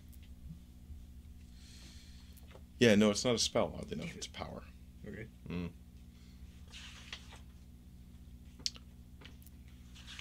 So yeah, you you start to think about weaving that spell, and then realize uh, there was no spell cast. You did not see him casting a spell. There was no vocal whatever. Uh, you do know that some creatures can teleport themselves. In fact, you fought one not too long ago uh, that was a nasty squid-like thing that could teleport itself. As do many demons. So Clark, sorry. uh, is the other lizard fella at the corner of the building visible, or is he hidden? I knew there's another guy there somewhere. I don't know. Yeah, he's gone. He ran away. Okay. Things are going bad. Pretty much. I knew there was another guy out there. I forgot about him. All right. Well, that's fine. It, was going very badly for them, and that wasn't their purpose there anyway. Clark will sheath Lucille and grunt. Okay, make a perception check. Okay. Uh, cloak back on 18. Okay. Assuming I can get a cloak back on and it does things. Uh, well, you're you're kind of like Actually, no. Sorry, 17 because I don't have the I don't have the weapon. That's the thing that gives me the bonus. right, right. 17. Um, so you're kind of looking around for for something to fight, and you can see that one running away up there, Mm. just beyond the edge of the hill where that that stone was. Mhm. You make out the small amount of light just behind the rock, which effectively is where that where that uh, that uh, candle is. Okay. Uh, Does my passive perception of 24 catch that? Clark will Nope. point. That away. because you weren't looking at that, and uh, his his stealth is actually high enough that it, it wasn't triggering your passive, um, but you didn't know to look. So That away. Okay. So that way. uh, that when he says that point. to you, it becomes I mean, immediately it's obvious. Yeah, So, but it was only a small sliver, and he was actively looking at the battlefield, whereas you had somebody right in front of you, um, and I kind of kind of looking away in this direction as well as he ran up the hill. Um, but as soon as he says that, you can see the sliver of light around the edge of the of the rock, Uh, Up this hill. right behind where that uh, Right here. right there. that away. Yeah. Okay. basically also right behind where Arkaxix was, so she didn't see it either. Now that he's pointed out, do I see it? Uh, no, because your passive is not high enough. Okay. You'd still have to look, but he, you know the direction he was indicating. Yeah. The, the rock is the one thing in that direction. Can I ask roughly how far that rock is away? Uh, about well, actually, count it out there because you could. You, we'll, we'll say it's Okay, accurate so enough. roughly that, Yeah. that far away. Okay. Um, Six, seven, eight, nine, 10, 11, 12, 13. So it's How like 65, 70 how much feet. of the action is that away? Uh, how much of the action on the field? So speaking of the that that away. Oh, that's nothing. That's a free Okay, action. All right, let's um, move forward. One, two, three, four, and in doing so, draw a bow Okay. and his arrow. And I'll do the math. Okay. Try Gonna make. Gonna do the. Uh, okay. Yeah, Uh, he's got full cover, so That's that will count against you, but basically raises his AC by five. try our best here.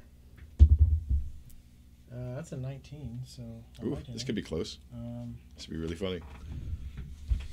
16, 26, Uh, and then uh, minus five. You said.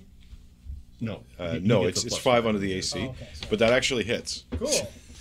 So yeah, All right. Well, Ah! on the other did side, Okay, so I see that. Good. you'll hear that. Okay. But I mean, I see where the arrow You went. saw where the arrow went. Yeah, yeah. 1d8 plus two. That's a nice blind shot. I like that. Uh, eight nine damage, piercing. Normal human damage. Well, normal mundane damage.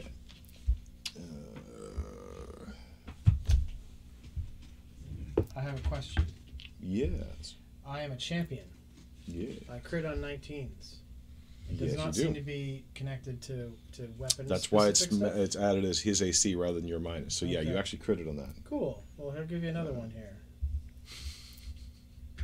Uh, 10, 11, so with An extra two. an extra two. So a total of uh, let's say 9 earlier. 10, 11. Okay. Um, Okay. and That's advantage. uh, I am a savage attacker, being a half orc. sure. Mm. You critted, so even more One more damage. dice. Yeah. Uh, eight, uh, seven more. So that's now 18 in total. Yeah. Okay. Fuck that guy. Agreed. So yeah, there's probably quite a yelp of surprise on the other side, and a bit of a grunt uh, as uh, he's now, uh, well, more or less been spotted, if you will, but still, still hidden or still undercover. Is he still invisible? Uh, he is uh, uh, not invisible, but he's behind full cover, so you can't see him. All you're seeing is that little thin edge, and it would have been really difficult to see him.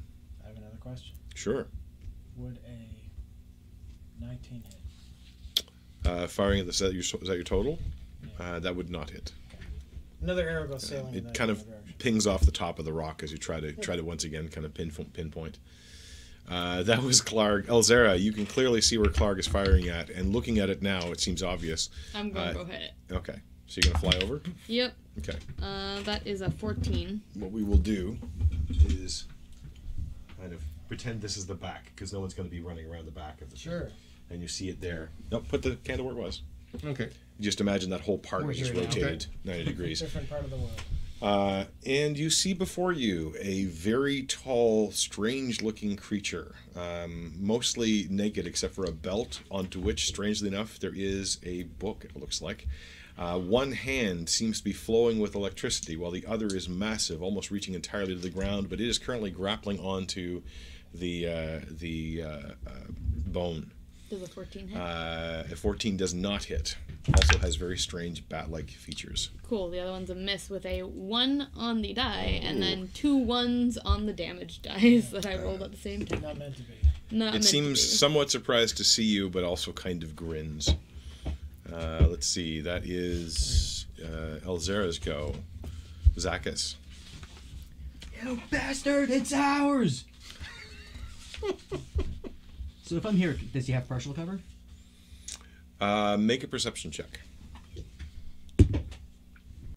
Nine. Yes. Okay, but Yes, I have to partial warn cover. the war mage, so that. I just wanted to make sure he had like partial Yep. cover versus like full Yep. cover. If you really bone the roll, it would have been full cover. Eh, Firebolt. You have resistance on Ten all plus damage? eleven, so twenty-one. Any 21 hits? that is non-magical. Uh, non-magical. Uh, what kind of magic is it? Just fire. Fire. Okay. 14. Okay. It looks as though he kind of shrugs it off. It still seems to have burned a little bit, but not as much as you expected. Okay. Um, that's Zakis. Uh, that is. Oh yeah. She flies over. Yeah, don't piss her off. and she just she swears again in uh, in infernal and she saying now? Uh, well, first of all, the swearing, which is kind of, it's weirdly kind of much about lineage for her, Okay. which is you, your creator, and their creator's creator should be should be destroyed in the most painful way possible. Uh, but she does say a name, actually, or what you recognize as probably a name. Uh, uh, Kikteris. Uh, she recognizes who it is. Uh, and also says, You have been a thorn in my master's side. Now I will be a spear in yours. Well, it's a sword in yours, but it worked better when I was thinking in my head. Uh, and she draws her long sword once again uh, with double handed effectiveness. Uh, that is a 22 to hit. A 14 to hit, actually does not hit and an 18 to hit. So you see her swing downward uh, with her sword, the green edge of it glinting strongly. Um, but uh, while the green seems to smear across its hide, uh, it seems to be almost entirely undamaged by the strikes. Uh, as uh, the sword bites, but seems to skitter across its tough hide. Uh, okay. Oh, actually, sorry, we'll do that because it's not that effective. Uh, that's its turn, uh, or her turn rather. I'm Amrun, Well, you feel a cold emptiness as that beauty that was there beside you is now vanished. yes, I'm gonna fix that. You saw where the battle went. Hmm. Uh, well, how close can you get? 5, 10,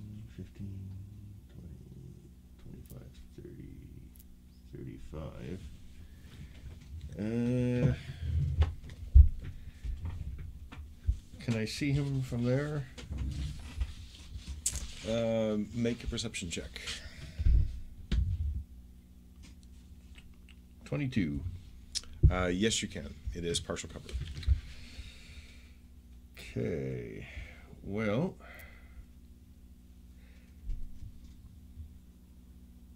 I say. Hmm. Uh, with command.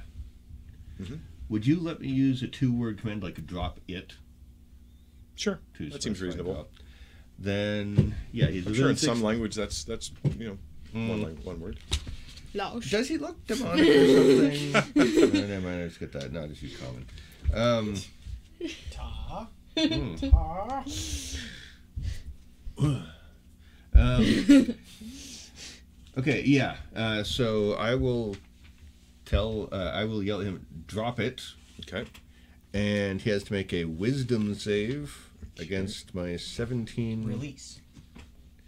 Yeah, but release could be other things. Okay, yeah. Um, so I thought of that one. Uh, you say yeah. wisdom save. Yes. Oh, it's not as good as I hoped it would be.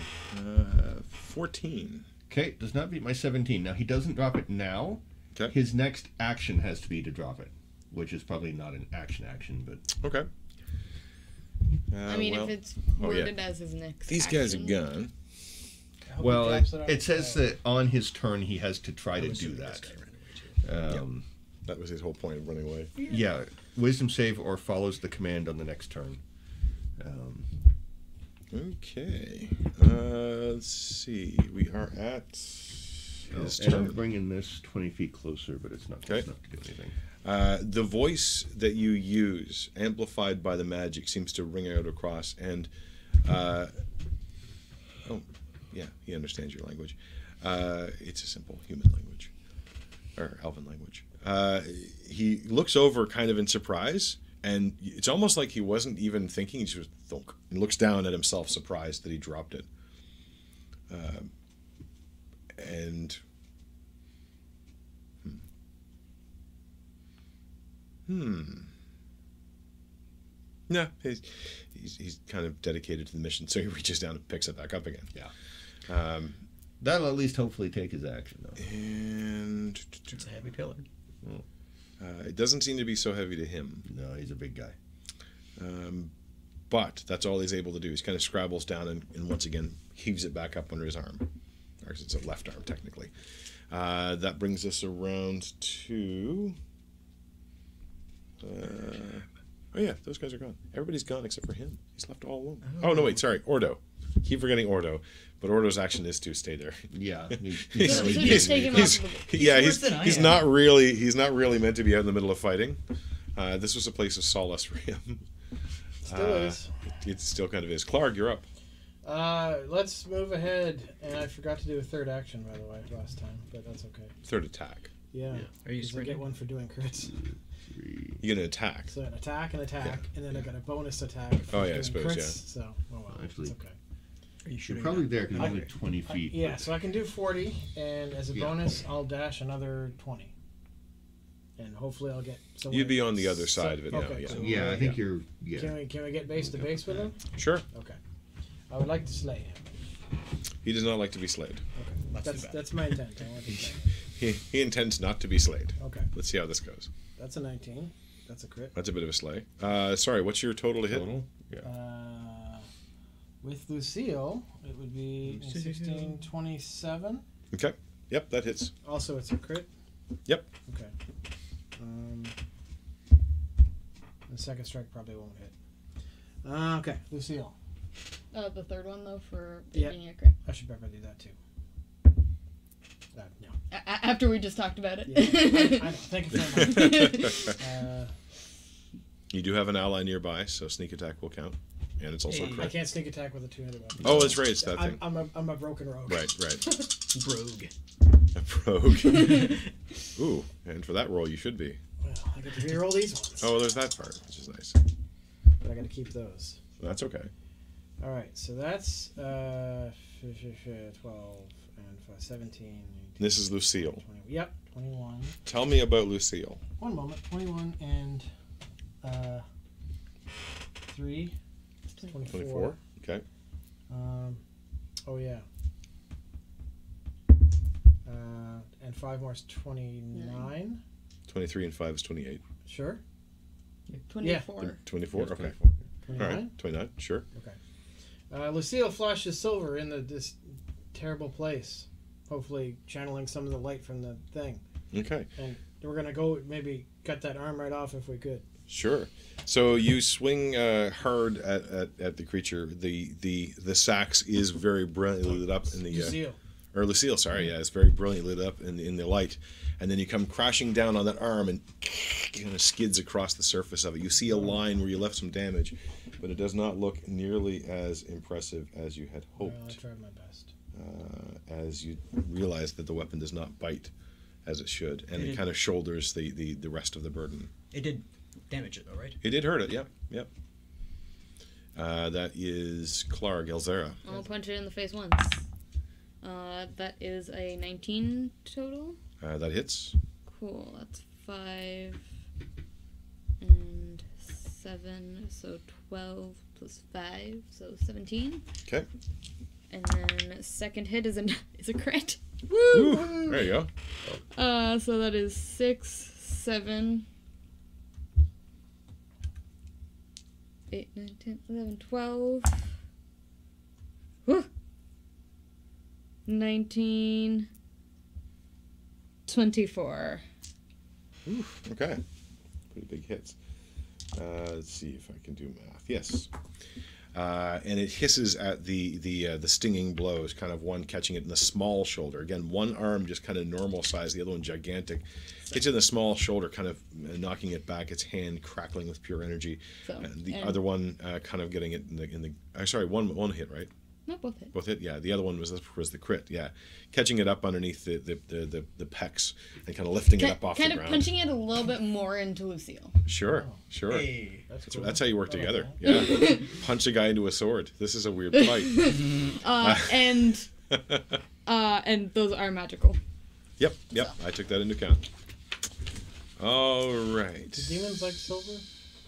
Uh, it didn't seem to care. Okay, It looked really nice, though. It looked flashy as all hell. just asking.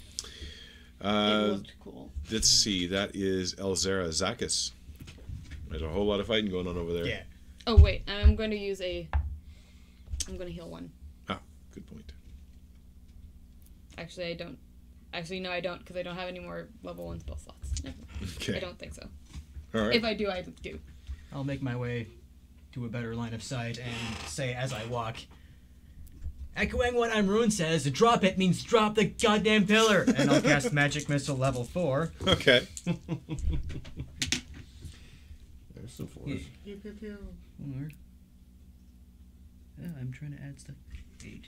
I do have a spell slot. Oh, actually. yes. Hmm. Sure. Why not? Uh, what level spell is that? Four. Four. Uh, it it it uh, smirks at seeing them come in, waves its electric hand, and the the, the missiles vanish as it comes you closer as he dispels it. Have, a, Dispel or counterspell? Dispel. What? I have a question. Is that a reaction? Oh, actually, wait. Sorry. Is that No, it's not a reaction. It's not a reaction. Never mind. So, Never mind. Oh, ah, I just lost the count in my head. okay, so 8, 10, That's right. I forgot about 17 plus, that. Makes a lot more six. sense then. so 23. Twenty-three. Magic. Ooh. Or force. All right. magical force damage. All right. Cool. That's Zakis. Uh, it is uh, your new friend's chance here now. Uh, I really wish she had more different kinds of attacks, but she really doesn't. She hits stuff Uh, with sticks. She well, she hits them with swords. Swords. They're sharp metals. Just Or swords. Sharp metal sword. Uh, once again, oh yeah, drawing both hands. I should remember that. Oh, uh, the missiles knock it a little bit out of kilter, and she manages to miss, uh, but does not miss the second time or the third time. Now I'll use the right dice. I also forget about that. Uh, okay. Uh, she slices into it uh, quite meanly her sword seems to be cutting into it nice and deeply. Good. Uh, with three blows. Once again, kind of the first one, because it was off kilter, she misses a little bit. Then she backhands across, cutting a nasty, nasty gouge across its stomach. And then just a an, an attack to that big arm again. Kind of the same sort of idea you guys are having, where she wants to kind of cleave it off. Uh, and she she shouts at it uh, again in infernal, so you recognize it, uh, Zakis. Um, uh, I will hunt down your living corpse, and I will destroy you time and time again. Yeah! Uh, it is Screams Amrun's from 30 turn. Hmm. Well, let's go 20 more feet. So it's tucked in here, but it's not on the right side of it. Okay. Uh, 5, 10, 15, 20, 25, 30, 35. He's over here as well. Okay. Uh, I think I can see like, him from there, but uh, yeah, I'm kind of like here. Okay. But Make a perception check. um, 12. Twelve. Partial cover again. Yep. Um, I said drop it. Make another wisdom save. All right. So the best thing, thing I can do right now. Natural twenty. Oh, no. Okay. So he's he sort of grins in your direction. No, you hear in your head. Okay. This is for my That's it for master. Uh, that Who's your master? Uh, that is uh, didn't work. Not gonna tell you. Uh, that is its turn. Let's see. What is it gonna do? Kind of surrounded. It has the pillar once again under its arm. However, um, Just starts beating us with the pillar. I was expecting that to come. it's it's tempting. It really is. Uh, but instead, he's going to vanish. Each of you can make perception checks now that you kind of understand this trick. If we understand his trick, does that mean we get it at advantage? Nope. It means you get to roll. Okay. I also get. Or sorry, 22. Well, I got 21. So All right. Nine. All right. One. One. Yeah. The two of you are kind of like, where did, where did he go? Where did he go? Uh, the two of you notice, and, and again, we're going to double back as if this is away from the fight, so we're not going to confuse him there, uh, as he has teleported 60 feet away. And then turns and starts to run. So he's. So he gets another, away. he's 100 feet away now. Cool. I can get to him. Oh, yeah, it doesn't mean it worked for him, but that's all he's going to do. Uh, but that is his turn. Uh, Clark, you're up. All right, I think I saw him. Mhm. I'll say he went that away. Put Lucille away. Just take twenty feet steps forward. Pull the Ready? bow out again, and Okay. yeah. Try another. shot. Make that noise while Take ano- doing it. Take another couple of shots. All right. That's a fail with a two. Ooh. Uh, next arrow goes out with a uh, math. 8, 9, 10, 11, 21. 21 is a hit. All right. There's nothing standing between you and him this time. He's practically out in open space. He was hunkered down and trying to hide the thing, but not Are you doing so using a well. longbow? I am. That- That's a D8. I should do a D8, shouldn't I? Hmm. Let's try that instead. Might work better. Nope. um, Trying to help. big weapons Do what I can for you. don't do the thing, so I'm Nope. okay. In that case, I'm going to do a whopping three piercing damage from distance. All right. The arrow barely sinks in. It Yeah. actually falls off of him as he as he runs Well, by. you can, you can, yeah. Uh, he is kind of limping a little bit where uh, Arkaxix had hit him in the leg, though. Uh, it doesn't seem to be slowing him, but he's not happy about it. Elzara. I'm gonna go 100 feet to him mm-hmm. and hit him once with a natural 19 plus Uh, 8. that hits. Oh, yeah. Uh, so that's 4, 6, 11 uh, damage. Okay. And that is cocked. Uh, 16. 16 to hit. Uh, 16 plus 8. Oh, So yeah. 24. There's a big, big difference brain. between those two. Brain. Reading what is on dice. Sure, uh, sure. So 16 plus 8 to hit with uh, 15, 20 damage. So describe how you kill him. I'll punch him in the face. Okay. So the the first strike kind of hits him in the shoulder, sending him a little bit a little bit half turned. He looks up at you, and for the first time in this fight, not smirking, not laughing, as your your uh, air fist collides with his face, and you feel the the satisfying crunch of his face just sort of melting inward.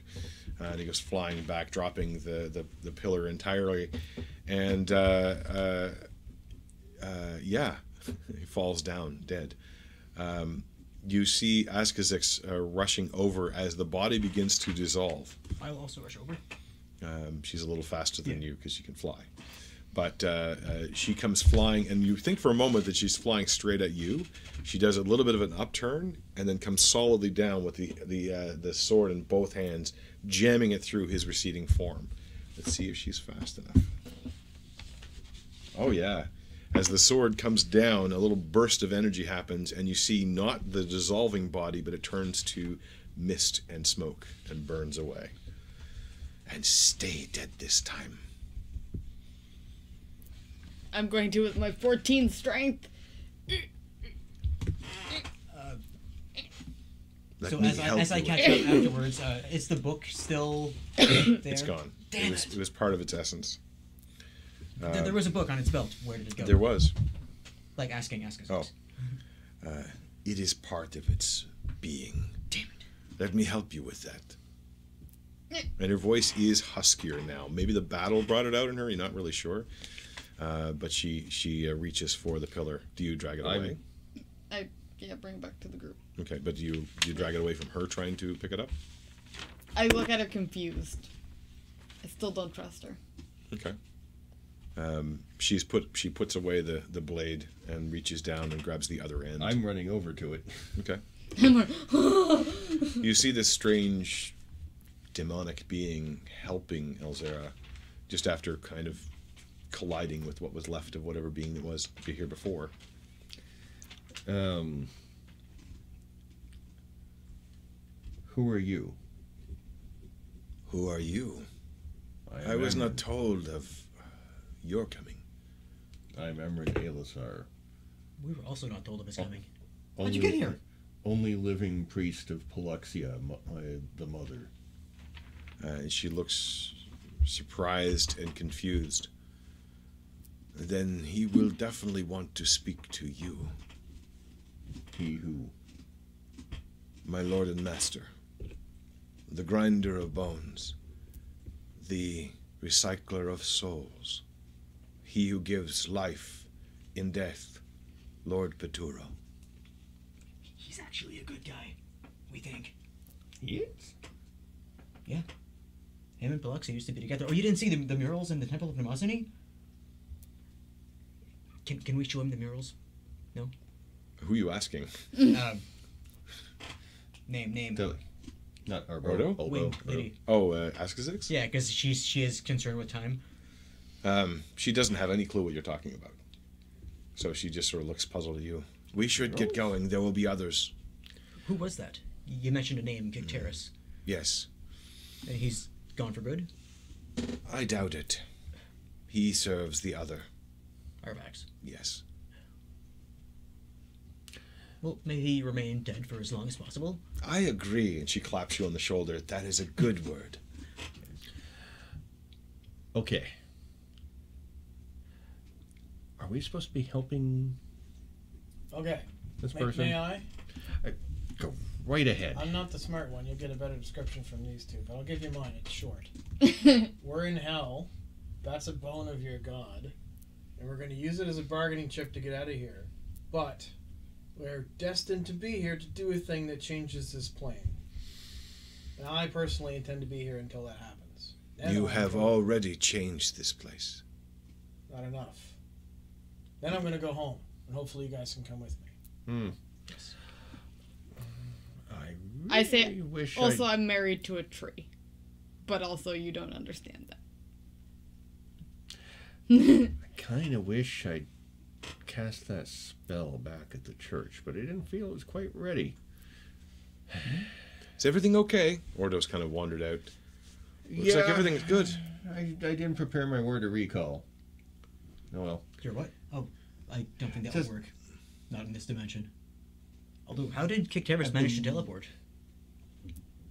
He is a native here. That's the secret for word of recall. It's supposed to work anywhere. It just takes me home. Hmm. And the rest of us. But because I didn't think I'd be in another dimension, um, it's not ready, so I can't do it. Um, so okay, Peturo's a good guy. You cannot leave until you have spoken to my lord. I will not allow it. What's the easiest way there? Can you wait? If Kicteris was a native of this plane and you are a native of this plane, could you teleport us to Peturo? No, I cannot. Damn What's But you can show us a there? quick way there. Yes. And how do we uh, Let's do that. carry this? if we can wait an hour, I can uh, become an earth elemental. And I can kind of carry it. I should be able to carry it. Can we avoid uh, upwards glances as we make our way? I'm assuming No. we're flying. No, we cannot. Oh yeah, This will be noticeable, that's what I was afraid of. but it may also serve that purpose well. Wait, well, why? The armies that fight will see this as a beacon, a sign that change is happening and that we are winning. Won't they try to come after us? They have their job to do, as do I have mine. If you say so, you know this place better than Turo we do. Yes, I do. were a I'm still- at one point. A little uneasy with the idea. Um, they fell out. He, I think, fell into some sort of depression, which is why this place sucks. Okay, So if we I understand that. if we return a piece of his bride to him, we may be able to change his attitude. Also, that might be him. I'll point at the moon or the sun. Quote. There's no moon and sun. There's just It's ambient a, light. it's a skull, There's just oh, like the, the, skull. the, the ember skull. Yeah. sun sized. okay. Okay, so that is a bone of Paluxia's actual physical body. Uh, There are more, but this is the one we could get. Yes. Um, you'll understand if I'm a little unwilling to perhaps give that up right away. I understand that. But I understand. Uh, this is We've been here for I don't know how long. Also, you don't understand me. Yeah. um Just goes right over We, your head. we've been here a while. uh, and ours has been like uh, a week or so, Almost a week and a half at this a point. week and a half since you guys disappeared. Ten's Um, fucked. Miley's a little worried about the two of you. How's she doing? Um, I didn't think at the time. Did, it, uh, would I have had a chance to cast a sending while I was walking to the temple to just say How I'm looking doing? into something about them? It was really almost at a run at that point. Yeah. sure. Um, uh, you, she's worried. Uh, your place is a mess. Um, but, um, well, okay, I found you. Yeah. Do you have the means to fly? All of you. No. Not at the Yes. moment, but if we wait an hour Yes. or right now. You guys do. You guys can turn into air still for another eight hours. Right. I forgot about that. I can't carry that thing. But we can't carry the thing, that. Kicked her. and uh, you can't. Arkaxix could carry it. She said she could. I, did hear can. I'm gonna be like doing my best to memorize the pillar. Okay. Uh, You note upon the surface that there are some carved elements. I'll remember all of this. yep, I'm just You'll sort of, never forget. hey. For the next 30 days. well, that could be forever Wait, is, for him. is that shadow days or like real life days? I guess we'll find You'll out. remember it for the rest of your life. Woo! 30 days. Oh, however short it may be. so you're memorizing something? okay. No, this is location spell. Okay. Um.